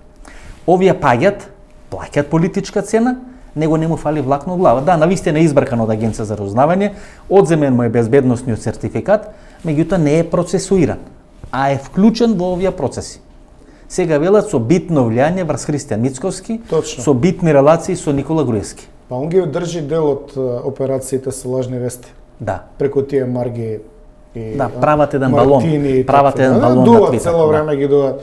Ама пет пари не давам. Мислам, Добро, јавно ги кажам затоа што мислам дека не сваќа дека тој е промашен, прозрени дека, се. дека е промашен модел, дека тој брутален модел на фейк вести, на лажни вести, на едно денунцирање, дека создава еден таков обрач околу ВМРО ДПМН. Бидејќи ВМРО ДПМН токму поради таа политика не може да допри до неопределените гласачи. Тој е промашен, потрошен модел, модел кој создава веќе проблем кој создава проблем како ВМРО да комуницира со нормални гласачи, нормални ВМРО мајани. има друг проблем. ВМРО има идеолошки проблем и ВМРО има проблем со лидерство. Господинот Мицковски, кој што е дојден на наместен конгрес во Воландово, никогаш не бил автентичен ВМРО-вски лидер. Човекот не го интересира ова све што зборевме, може се кладам дека поема немаат за овие работи. Ако го знаат кои се шесте основачи на ВМРО, тука ќе се сечам. Значи, него го интересира брендот, седиштето, печатот и финансиите како проекција на лична политичка моќ и место во обштеството. Тоа се скороевичи од најнизок вид. Луѓе кои што уживаат да седат у воденица, а друг да ја плати сметката. Тоа е проблемот на ВМРО. ВМРО нема јасно лидерство. ВМРО да не победи во штип на локални избори, Васко, На ваква, Па не ли е лош заев? на ваква Па кри- 100-0 треба да на- го тепаме. Победи со 100 гласа на парламентарните на 15 јули. па, значи, победи. па- во, во меѓувреме По- полошо, полошо, задолжува- да, нели во епа- меѓувреме Јове Кекеновски дојде, Епа, е, да, Воислав да, Закировски, да. Воислав Со Зак- Јове се зајакнавме. преговарале со Солза Грчева, Да. преговарале нели со сите други. Сите страни. заедно е, 1200 гласа нема. Да, добро, и Васки рече дека вие Многу ми 2011 е- освоивте 1200 Да, ама гласа. 9 дена имав партија. 2011. 9 дена Но партија. дадовте кадар. 9 Дим- дена. Дадовте кадар, Дим Сарсовски. А, е да. Дадовте кадар. Ја Еден- најакиот кадар на Мицко. на, на Мицковски о, о сегашна ситуација. Господине Петровски, што ќе се случи? Само што го зголемивме гледањето на емисијата, пошто додававме уште еден во, Што може во центрифуга. Во моментот кога Бајден ако Да. се случи тоа што сега нели се работите, Да. ние не знаеме што ќе се случи, ние го говориме во Македонија Се работи на тема да го инсталираат да биде Бајден. со наместени избори. Ако Бајден биде председател на Америка, ќе биде Груевски спакуван и вратен од Будимпешта. Пред... Предпоставувам дека ќе го депортираат. Да, Пошто прво ќе го спакуваат Орбан. ќе го спакува Торбан. Значи, Веќе, Бајден веќе е почнува представник- создавање, веќе почнува создавање на терен да биде спакуван Орбан. Дури го нарекоа во американските медиуми Трамп пред појавата на Трамп.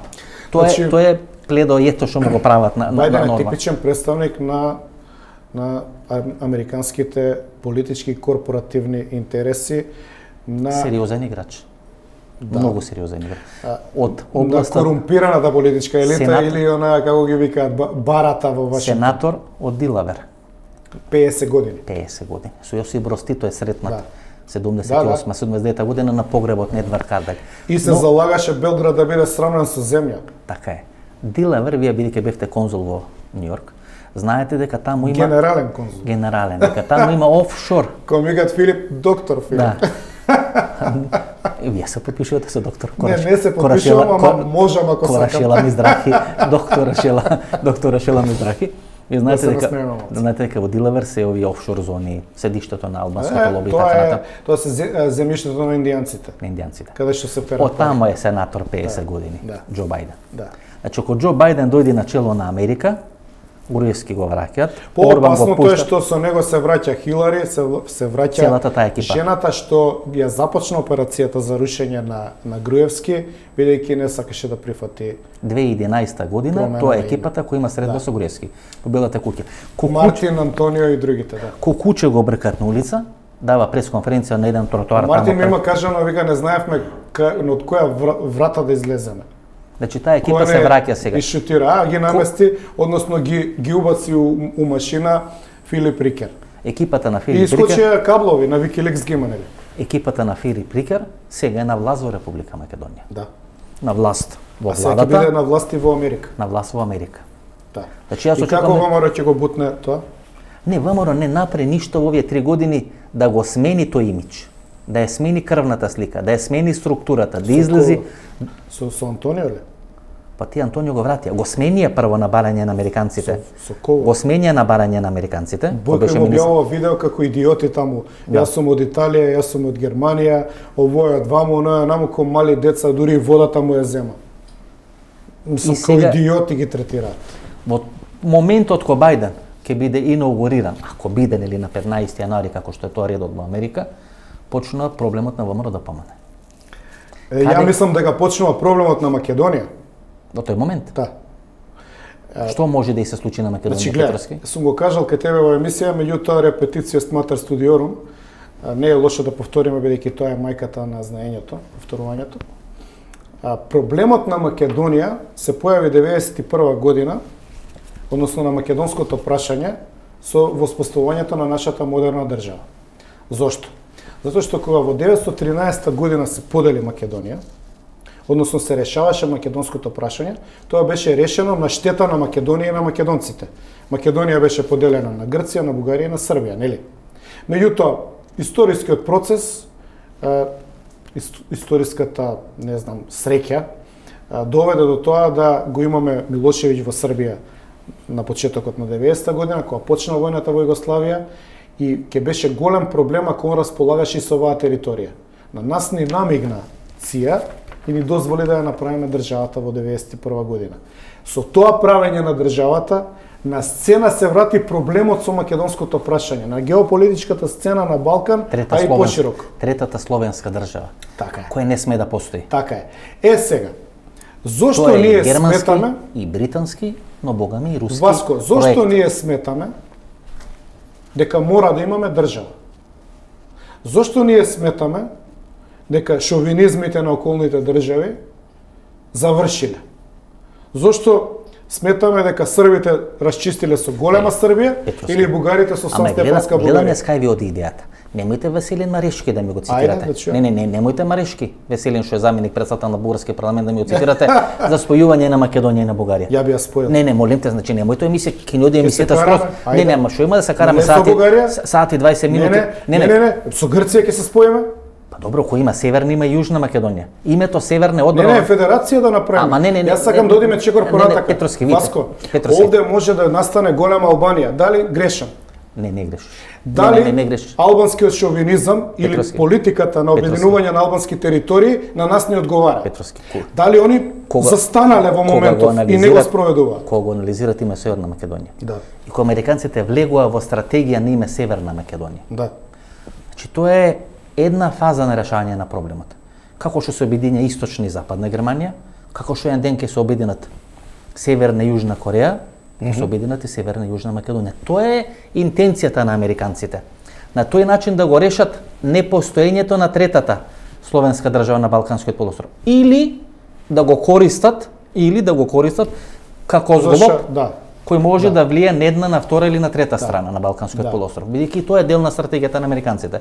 Мислам дека во момент Контролирана нестабилност. контролирана нестабилност. Мислам дека американците во моментот се уште немаат определено што ќе прават. каква е составањето, составањето на Македонија во НАТО А каква и дозволувањето нели тие осум пратеници на еден мизерен груп начин Македонија стане членка на НАТО, понижувачки на А на каква е позицијата на Бајден и на Клинтон апропо косовското прашање или албанското прашање во целина? Па добро, тој го нарекува, се на нивна страна. тој го нарекува Хашим Тачи, Џорџ Вашингтон на косовската независност. Е, тоа не е проблем за нас? Мислам дека пред доаѓање на Џон Бајден, американските структури расчистуваат со тие команданти. Видите, господине Петровски, ако седнеме да го анализираме моделот на Тито, значи 45-та година победа од Тито, комунистите или партизаните или комесарите стануваат власт во тогашна ФНР, СФР или како Да. се нарекува, и тоа трае до 65-та, 67 година.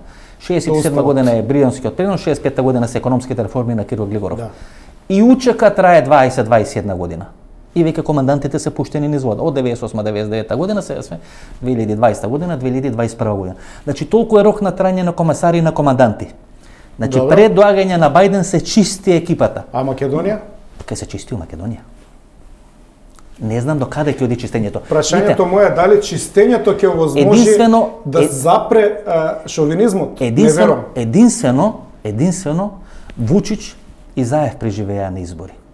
Значи единствено Вучич и Заев преживеа на избори. Мило Џукановиќ пуштен низ вода, Додик со изборите во Бања Лука пуштен низ вода, Изет Беговиќ пуштен низ вода. Бојко Борисов најверојатно пуштен из вода, затоа не реагира во Бугарија на изборите во март. Вучич и Заев, Вучич бидејќи требаше да го реши косовското прашање, Заев бидејќи спроведе се оно што се бараше од него. Сосема кооперативен, да. Со, се оно што Да. се бараше од него. Да. И точно вие го гледате сценарието рекописот на американците од целата работа. И нас не се случува афера Атлантик, Мгм. која не можам да ја дефинирам поинаку освен како расчистување или конфликт на службите во Република Македонија. Добро. Служби кои се прозападно и служби кои се антизападно ориентирани. Тоа е конфликтот кој се случува во Македонија. И странските Си- влијанија на околните држави. околните држави. Сите овие фейк вести, кампањи црни, ферментирање, хистерии кои се прават сега во Република Македонија. Три типа на хистерија има. Бугарското прашање, прашањето на ковид и политичката криза, односно Јордан Да. Орце Камчев во целата оваа работа, одење и неодење избори во Штип. И оној крик на ВМРО ДПМН да биде формирана влада на национален спас, за да се ферментираат процесите, за да се бетонираат да процесите. дојдат до фотели, Фотелијата. да седнат луѓето на Мицковски на фотелја На со изгубени избори. Со изгубени. Не се прави така. Така е. Не се прави така. Тоа се процеси. Има ли Ама во... не се чисти. У овие сите процеси Мицковски ја игра улогата што му е доделена. Од Валандово навака. А се што требаше да се заврши овие процеси. Апропо досието Атлантик, промена на име, промена на уставно уредување, се завршени. Македонија не е исто од 91 и сега. Сега е Северна Македонија. Принципите на основ ги нема во преамбулата. Државата која што е формирана според преамбулата од 91 година како израз на потребата и борбата на македонскиот народ низ вековите за своја држава, веќе го нема како документ во уставот на Северна. Нема. Се тоа што требаше се заврши, се заврши, а Мицковски си добива а, пари по законот за политички партии и пушта таму некои свеќи кин, по принципот на кинеска нова година Гледате, во небо да ги се загрижил за за починатите. Многу работи кажавме во оваа емисија. Ајде да кажем уште една работа. Гледате, она екипа од екс Југославија се враќа на власт или на власт во сите поранешни југословенски републики. Сега има најава дека Бугич Бугичевиќ, човекот со чиј глас не е воведена воена вонредна состојба или дозволено на ИНА да изврши воен или државен удар во тогашна СФР Југославија, ќе биде градоначалник на градот Сараево после губењето на изборите од страна на партијата на Бакир Изадбеговиќ. Значи целата таа структура всушност е на власт изминатите 30 години, тие што не Да. биле на власт, се се враќаат повторно на власт. Го спомнав името на Ѓорги Иванов. Тој е дел на тоа младинско раководство. Некаде крајот на 80-те години. Постигнато комунистичко младинско раководство. Станал председател во два мандати. Да. е присутен на средбата на трилатералата 2015 година во Белград во Гран Плаза, оне хотелот што се нарекува Белград, хотелот на Мишковиќ. И всушност Ѓорги Иванов, колку и да е поценет, е носител на одредени процеси. Процеси кај што дел од таа една комунистичка елита, децата на комунизмот, ја менуваат униформата, ја менуваат облеката, што би рекол Миломир Марич и се уште се на власт. Груевски не е поканет, поканет е Ѓорги Иванов на таа средба, на високо Тогаш ниво, е започнал веќе падот на на Никола Груевски. на Груевски, но е, тогаш почнал падот и на Иванов. Практично интервенцијата во Куманово е дента кога Иванов е на воена парада во Во Москва. Москва. И точно знам што се случило кога му јавиле. Што е јавено? Значи кога му јавува дека во Куманово он е на парада. Да, на оди. црвениот площад. Иако има сигнал дека не треба да се оди. и му јавуваат дека е почнато во Куманово. Првиот збор, првата реченица што ја кажува е ради тоа што сум во Москва. Многу новинарки, ако се сеќавате, пишува во своји колумни дека треба да се менува уставот на Република Македонија и дека треба да се избрише тоа ограничување дека председателот треба да има два мандати. Или тоа е уставно ограничување. Дека треба да му се дозволи на Ѓорги Иванов да има трет мандат.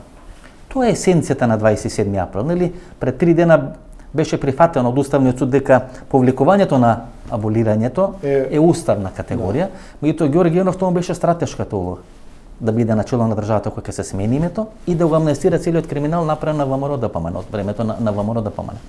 Значи протестите 27 април требаше да резултират со трет мандат на Ѓорги Иванов. Тоа е спиритизмо. Требаше војската да ја извадат. На улица. Муабетот така беше пред парламентот. Ко, кој е на Сега ќе повика Иванов да излезе војската да се во спречи 22 државниот часот ќе има пресконференција на Иванов. Ние чекавме во 22 часот да има пресконференција одредени познати Ова новинарки. се многу интересни историски моменти за кои што народот не е информиран. А овие што скапуваат во затворите до ден денеска ги лажат дека само што не ги аболицирале. Кој е на 20? Кој е на 27 април? На 8 спрат во Белата палата. Ау, не знам. Не бевте Јас тогаш, сум- Значи, јас сум а, на 20... Мене фортуна Среќата, или, значи. или, или Инстинктот. судбината, не инстинктот, ме спасија. Јас бев а, во Јане Сандански. А имаше на Ракомет, Ракоме, да. Вардар го гледав. И мене ми јави човек што е вработен во собрание, дека народот почнал да влегува. Јас вака облечем, напуштам Ракомет, седнам у и идам пред собрание. Јас немам контакт со организаторите кои што покасно нели се обелодени дека се организатори овој Спиро и другите дека координирале. Јас доаѓам надвор пред собрание. Гледам дека народот влегол. Влегувам а, во собранието во моментот кога а, Дурловски ја пее химната. Имам фотографии унатре, се сликам, гледам народот расположен, знамиња веат. Пробувам да се вклучам во живо на Facebook, гледам дека нема интернет. Пробувам да пратам СМС Значи, на луѓе дека сум унатре, гледам дека нема. Полицијата не реагира, меѓутоа пресечени телекомуникации од секаков тип. Поседов тука, не знам во кој момент дали тогаш или предходно го нападнале Заев и така натаму, меѓутоа доле кога сум во пленарната сала каде што сум бил и пратеник, ја немам чувство дека некој некого напаѓа. Искачам надвор, со по со повеќе луѓе бев, искачам надвор и викам овде нешто не штима. После сад време полицијата почна да пука димни бомби, се реорганизираше. Значи делуваше како да е оставен простор нешто да се направи. Ако е така, значи Бела. сега не тврдам. Бела. Ако е така, треба да се истражи. Ако има некој што организирал нечиви ликвидации, треба да одговара. Билат добро информираните дека требало да експлодира боца, плинска или било што друго и дека тоа е сигналот да се трни во елиминација и екзекуција на Зоран Заев. Не се случува тоа, затоа нема елиминација и екзекуција на Зоран Заев. Тоа се приказните на луѓе што се Ова информирани. прв пат го слушам. Луѓе кои се информирани, да, Искрено. Но ти кажувам, од мој очевидено, во пленарната сала, кога пее Дурловски, ја немам чувство дека таа работа ќе ескалира. Не ги гледам пратениците на СДС, не памтам многу дека имаше и пратеници на ВМРО, делува една а, позитивна енергија, луѓето расположени, прогласиле Народно собрание, овие качени таму на големата маса, знамења, он пе, расположението е дека е спречен државен удар, пошто овој пеенели албанска химна, а, крсто ги отвара вратите и народот влегува. Меѓутоа, ако има друг контекст, а мислам дека има, треба да се истражи и народот треба да знае. И гледате, тој контекст сега По прави... мене, две, два, два државни удари се тој ден направени. Да. Направи удар, државен удар Заев, подржан од странците, ВМРО сакаше да направи контрадржавен удар, односно да му парира на него, не беше поддржано. А, Груевски беше извлечен во Виена за да се спаси. Со Александар да не Николов. биде Со Александар Николов. Да не биде директно тука, као Боже мон не е тука, меѓутоа се заебале зборал по телефонот. Ги И знаат. фатени се комуникации. Комуникациите се фатени.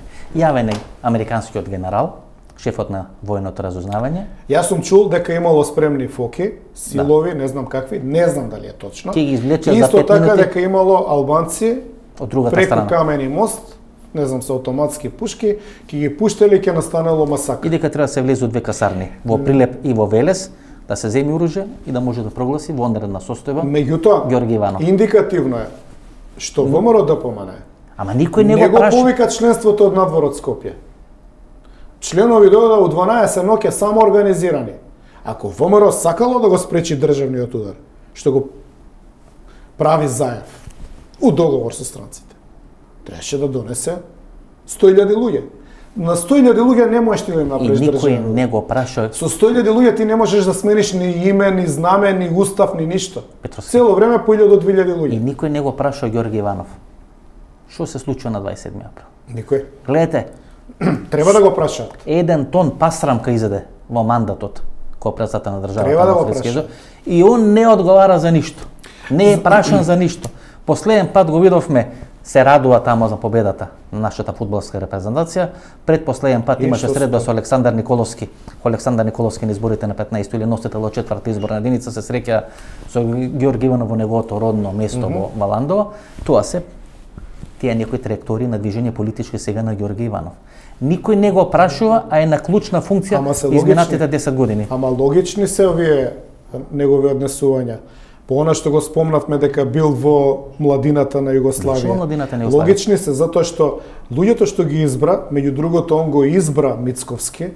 Значи Иванов не избра да биде татко на ВМРО, во смисол Ма иде Мицковски е избран во родниот град на Иванов. Во Валандово. тоа сакам да ви кажам. Валандовскиот конгрес Значи- има одредена символика. Значи, он не избра да биде татко мој на сите нас од ВМРО, туку избра да биде а, а, промотор на Мицковски. Ги врза неговите оперативци разузнавачи Со со Мицковски. И му даде на него пас лажниот конгрес а, да, да делува да делува како божен регуларен конгрес. А зборевме за конгресите и пак ќе ги спомнам тука Пандов и Даштевски, кои што ги однесува вака ги облекува во дела, а не беа делегати, и денеска не се делегати, ги однесува во Ландово да бидат едно милје дека божем еве аналитичарите и а, интелектуалците застанале по Кремицковски, кога во исто време до него седи и Мане Јаковлевски, за кого што добро знаеме какви позадини има во Кој е лидер сега на ВМРО да помене? Има една приказна. Говориме веќе сати и 35 О, минути. баш ми е драго. Сати и 35 минути. Значи, ќе имаме гаранција за добра емисија. Да, лет на времето. Има една приказна дека после губењето на изборите на 15 јули, Мицковски сака да се повлече од функцијата. И Груевски не му дава. Дека Груевски не му дава. Што е точно? Па точно е. Точно е. Па да. Што чека Груевски по вас сега? Гледате, Груевски не го поддржува ни ова делување на мери од коалицијата. Значи не го поддржува и мислам дека мери од коалицијата затоа и не влегува толку фронтално во процес на рушење на Христијан Мицковски. Може да кажам нешто за мериот Да, коалицијата. слободно. Значи, Во винуват нели дека сте дел на таа мери од значи коалиција? нити сум у коалиција, нити сум у мериот. Мериот си е на собственикот. Јас ко, а, комуницирам со сите, значи јавно кажам. Со Сашо сум комуницирал, со Митко Јанчев, со Никола Тодоров, значи со сите комуницирам. Сите предавници. За дувлото. Дувлото сите ги има прогласено тоа предавници. проблем. Тоа што, тоа што тие Тоа носеа победи, тие што носеа победи изминатите 12-13 години за ВМРО да помане, тоа не важи. Тие се предавници. Чекайте, овие но- што губат, Па овие што губат, че, па беше Никола шеф, Тодоров го водеше шефот на изборен штаб. победничкиот изборен штаб и со него ги правевме точно пресметките точно во децимала колку гласови ќе освоиме врз основа на информација со кој што Митко. Јанчев е победник во единствениот Да. град во Република Македонија. Сашо Мјалков, шеф на ДБК, Да. во време кога ВМРО ДПМН е власт во Република Да. Македонија. Учително и Груевски, нели, кој избега во Будимпешта. Да. Не може да се оспори фактот дека во време на Груевски, на еден или на друг начин, Ама овие луѓе, победува на сите избори ама на Сашо кој кога го учества. местеше у Валандово Мицко, тоаш добар беше, Беше сега е патриот, лош. беше патриот или предавник? Па кој славеше Кога? Гергелија за победата на Мицко? Ја или Сашо? Значи, некои работи треба да се знаат. Значи, они, они го поставија него. Мицковски не е изберан на Конгрес. Дрон. Класичен дрон. Поставен на Се конгрес не во му Валандово. чинат. Се надевам дека нема некој тај. Добро, Петровски, нели вие Али таа коалиција не е коалиција, тоа е собир на луѓе, на интелектуалци, кои што сакаат Конгрес. Саша. Меѓу нив сум и јас. Јас сакам Конгрес. Сакам членството да има право да гласа. Е, еден заев да каже дека членството на СДСМ ќе има право да гласа и да прави реформа, која што ние ја збориме со години и ние него го прогласуваме за ваков или онаков, а ние сме затворени у најнереформираната, најцентрализираната партија која што него ферма А, членството. Петровски политички партии се формирани и доат на избори. Овој бойкотира локални избори во Штип. Ама нема потреба. Влакно не му фали. Ама нема потреба да оди парите стигнаа од изборите. Видите, Државата му преносила пари. кој јас да формирам или да направам емисија и да не снимам интервјуа. Е, тоа е однесувањето на Мицковски. Така. Како некој да е вработен во ЈСП Скопје и да не оди да вози секој ден, да не си обавува професијата. Така е. Ова е направен да биде политичка партија, дојде на чело на политичка партија. Треба да победи на избори. Па затоа- и ветува на луѓето дека ќе победи. Затоа сега партијата служи за подсмев. Па нели Беса нема своја подружница во Штип?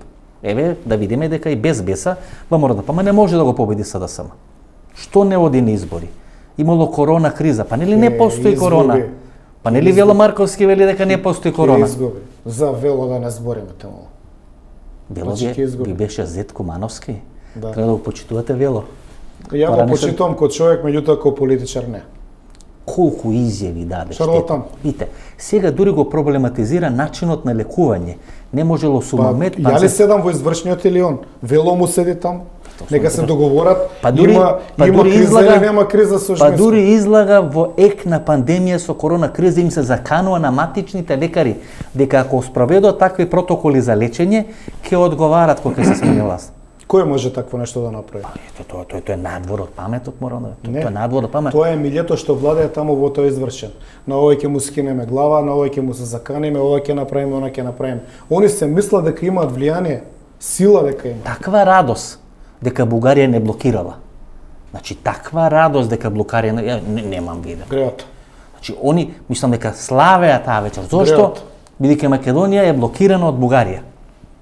Како што овие се буне ако навива навијачите на Европско првенство во Србија 2012 А сега ако попушти Бојко за декември, што ќе биде? или во март. Што правиме? А што ако е ова дел од поголема игра? Ите Усмине Петревски. Затоа што нема нема избори, заев нема политичка опасност. Non-пейперот кој го одбива Бојко Борисов е non-пейпер во корист на Република Македонија. Тој е германскиот поклон на Република Македонија. Да. Овој поранешен амбасадор во Бугарија и во Македонија, што го кажа или тоа што го пишал Клаус Штамаер, кај што вели дека Бојко не може да издржи без оние финансиски подршки и помош од Европската унија, а ни олигарсите околу Бојко Борисов не може да издржат, дека Бојко Борисов не може на долг рок да се спротивставува на Европската унија. Не ова Грција која може 20-30 години да издржи во конфликт со Европската унија. И не е поврзана со Америка, Бугарија. Не е поврзана Грција. како што да е Грција и поврзана. со Израел. Значи Бојко Борисов, знаејќи каков е нон-пейперот, дека е во корист на Република Македонија, веќе има проблем со Красимир Каракачанов, како вели овој Клаус Штамер. Не може еден Красимир Каракачанов, поранешен агент на бугарски служби и сега агент на руски служби, не само да ја оценува Македонија, не само да ја оценува владата на Бојко, да ја оценува цела Европа. Порака во Дојче Веле. Бугарија сега има проблем. Значи Бугарија има реално проблем. Сега проблемот треба како Бугарија да Сега излези Бугарија стана непослушното дете на апсолутно. Европа. Апсолутно. И овие Без слават. потреба. И овие слават. И утре кога ќе се смени тоа, а ќе се смени, некој ќе го притисне. Што ќе слават? Ништо. Ќе помине Штип, ќе си земат овие градоначалник, го оставаме на целило целиот народ таму. А, овој ќе ги добие заев евентуално у март изменети досто ќе почне преговори, доаѓаат локални избори, ќе прегази на локални избори, може да си распише предвремени парламентарни кога сака. Која е перспективата на ВМРО ДПМН со овој оваа збирштина на луѓе непотизмот кој што сега се промовира синот на овој, синот на оној, членови на извршен, членови на УМС, што е ова сега? На 100 луѓе ли е приватна собственост? Е, затоа користи проектот Христијан Мицковски. Апасиев. А Пасиев треба да биде понтонски мост, Да. Ако затреба. ако затреба. Ма нема да има доволно ни таму ни таму. Ќе се поделат. Нема да има доволно. Дури дури ќе дојме у ситуација, А они мислеа дека ќе подел- ќе зема на заев гласови. ништо нема да зема. Ништо нема да зема, тоа е лошата проценка на ВМРО да помане. Ќе побарам во архивата каде во која емисија тоа го кажано. Како што им речено, многу полесно ќе се случи Пасиев да дојде на чело на ВМРО да помане, отколку што ВМРО да помане ќе излезе на протести да го брани името. И тоа беше така. Тоа сум го кажал И пред тоа бидно. И тоа бидно. Ќе земам два дена, ќе ги прегледам сите емисии кај сум го Јас сум кажал и што сум понатака убеден. Дека немаше да дојде до промена Апасиев- на уставот и на името а, доколку ВМРО ДПМН прво го напуштеше собранието и второ доколку ВМРО ДПМН заземеше радикален Ако ментално го анализираме моделот на Никола Груевски, сати 40 збори ми ќе завршуваме тука. Не, можеме уште, да, ако се- не, не, не не. проблем. Ќе почнеме у недела у 22 Ќе часот. Ќе почнеме недела заспијат 22 часот да не се издржат треба понеделник на работа, да. Треба понеделник на работа и да оставиме и некаде крај на сезоната уште една емисија да направиме финално што се вика, да заокружиме све. Тука сум во секој време. Никола Груевски ментално функционира така да мора да има контрола на секој. И ако тој ставаше еден да биде директор, еден да биде финансиски директор клинички центар, сигурно нема го оставено Христијан Мицковски да биде без контрола. Mm -hmm. Прито таа контрола не може да му биде само Александар Николовски. Значи тука и Ѓорги Иванов, Синиша Лесковски, така натаму да. и така натаму. И мора да има политичка партија која ќе може да го плаши да му конкурира на Христијан Мицковски. Така и Гордана Силјановска ставена да биде кандидат mm. за председател да дојде на. Па некој ќе видите моделот, вие гледате тамо познат ракопис, предвидлив ракопис во целиот модел. И Гордана Силјановска е дел од таа последна комунистичка младинска гарнитура. Млада на, на, на Бранко Црнев. Да. Она Тоа е делот на пасија. како негов пратеник од колку како што пратеник на Мицко. За несреќа неизено на моја пароднина на Мицко, така што е сврзан. Видете, то, тоа се тие контроли кои се воспоставуваат врз Христијан Мицко. Ево ја многу ја почитувам тој, Гордана како професор да не тој да, да не мисли дека ја напаѓам. Тој Она да... ми беше у комисијата за одбрана на магистратура. Значи да не мешаме политички што имам дисреспект со респект како професор. Меѓутоа, местото е беше само на факултет, не повеќе. Целата таа екипа ќе го отличи ВМРО у такви лоши води. Отидено е веќе. Проруска, просрпска. Да. Веќе отидено. Веќе мислам дека е поминат Рубикон, точката од која што нема враќање. Веќе е отидено. За жал партијата е во многу сериозна значи, криза. Значи Мицковски донесен да биде стечаен управник. Да. Да. Ако по некој стечаен управник кој што е убаво награден. Ако по некој случај нас победи Мицковски. Каде? Па на избори до година. Нема да се случи тоа. Ние сме некако пат ситуација. Нема да се случи тоа. Ке биде или излез од сега, како на пример ќе се спаси Јордан Орце Камчев? Бидејќи целата ова работа е стратегија за спасување на војникот Рајан. Ако филмот на Спилберг да. како да се спаси војникот Рајан, са треба како да се спаси војникот Орце. Целата ова стратегија, Пандов, Мандов, сите тие играчи кои се ставени на раководни позиции да биде контролиран Мицковски, mm -hmm. репрограмирано долгот, пари се пуштат, купени се токму овие најгнасни играчи на Фейсбук mm -hmm. кои ќе може да го бранат Јордан. Кои сте гнасни играчи? Па добро, сега ако ги кажеме ќе треба да им даме да. легитимитет. Знаете, а зашто би им дал па, легитимитет? Затоа реков, кои Дел од нив се мои поранешни пријатели. Крекачи. Не стреки во животот. Све што фатиле уништиле. За една пура.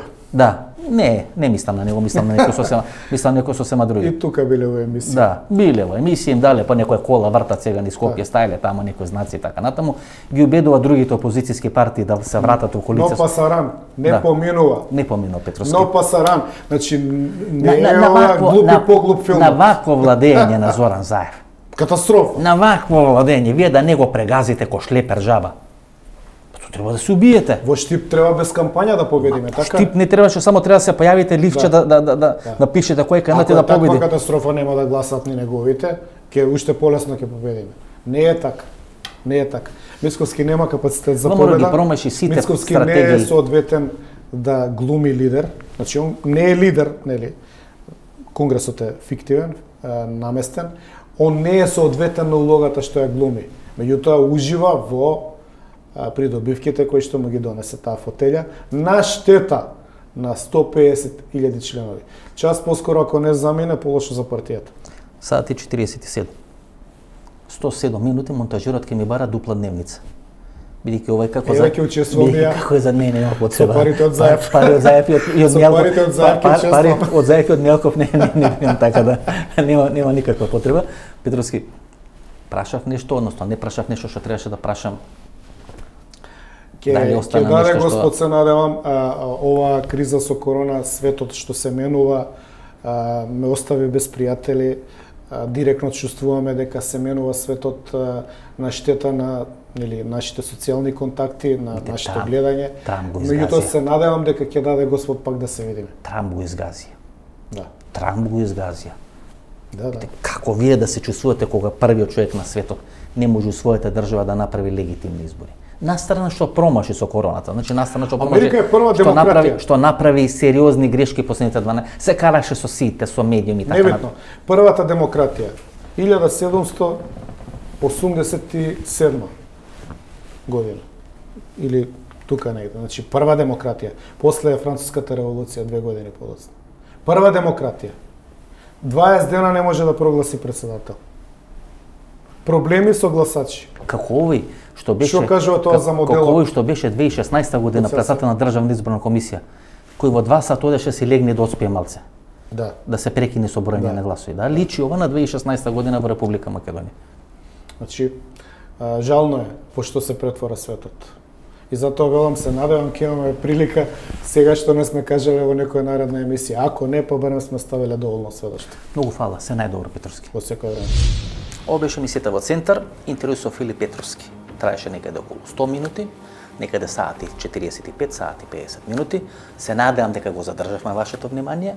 Ако се задоволни од оваа емисија, ако оваа емисија ви се допадна, ново дружење ве неам четврток 22 часот. До четврток од 22 часот, пријатно вечер Македонија, каде и да си.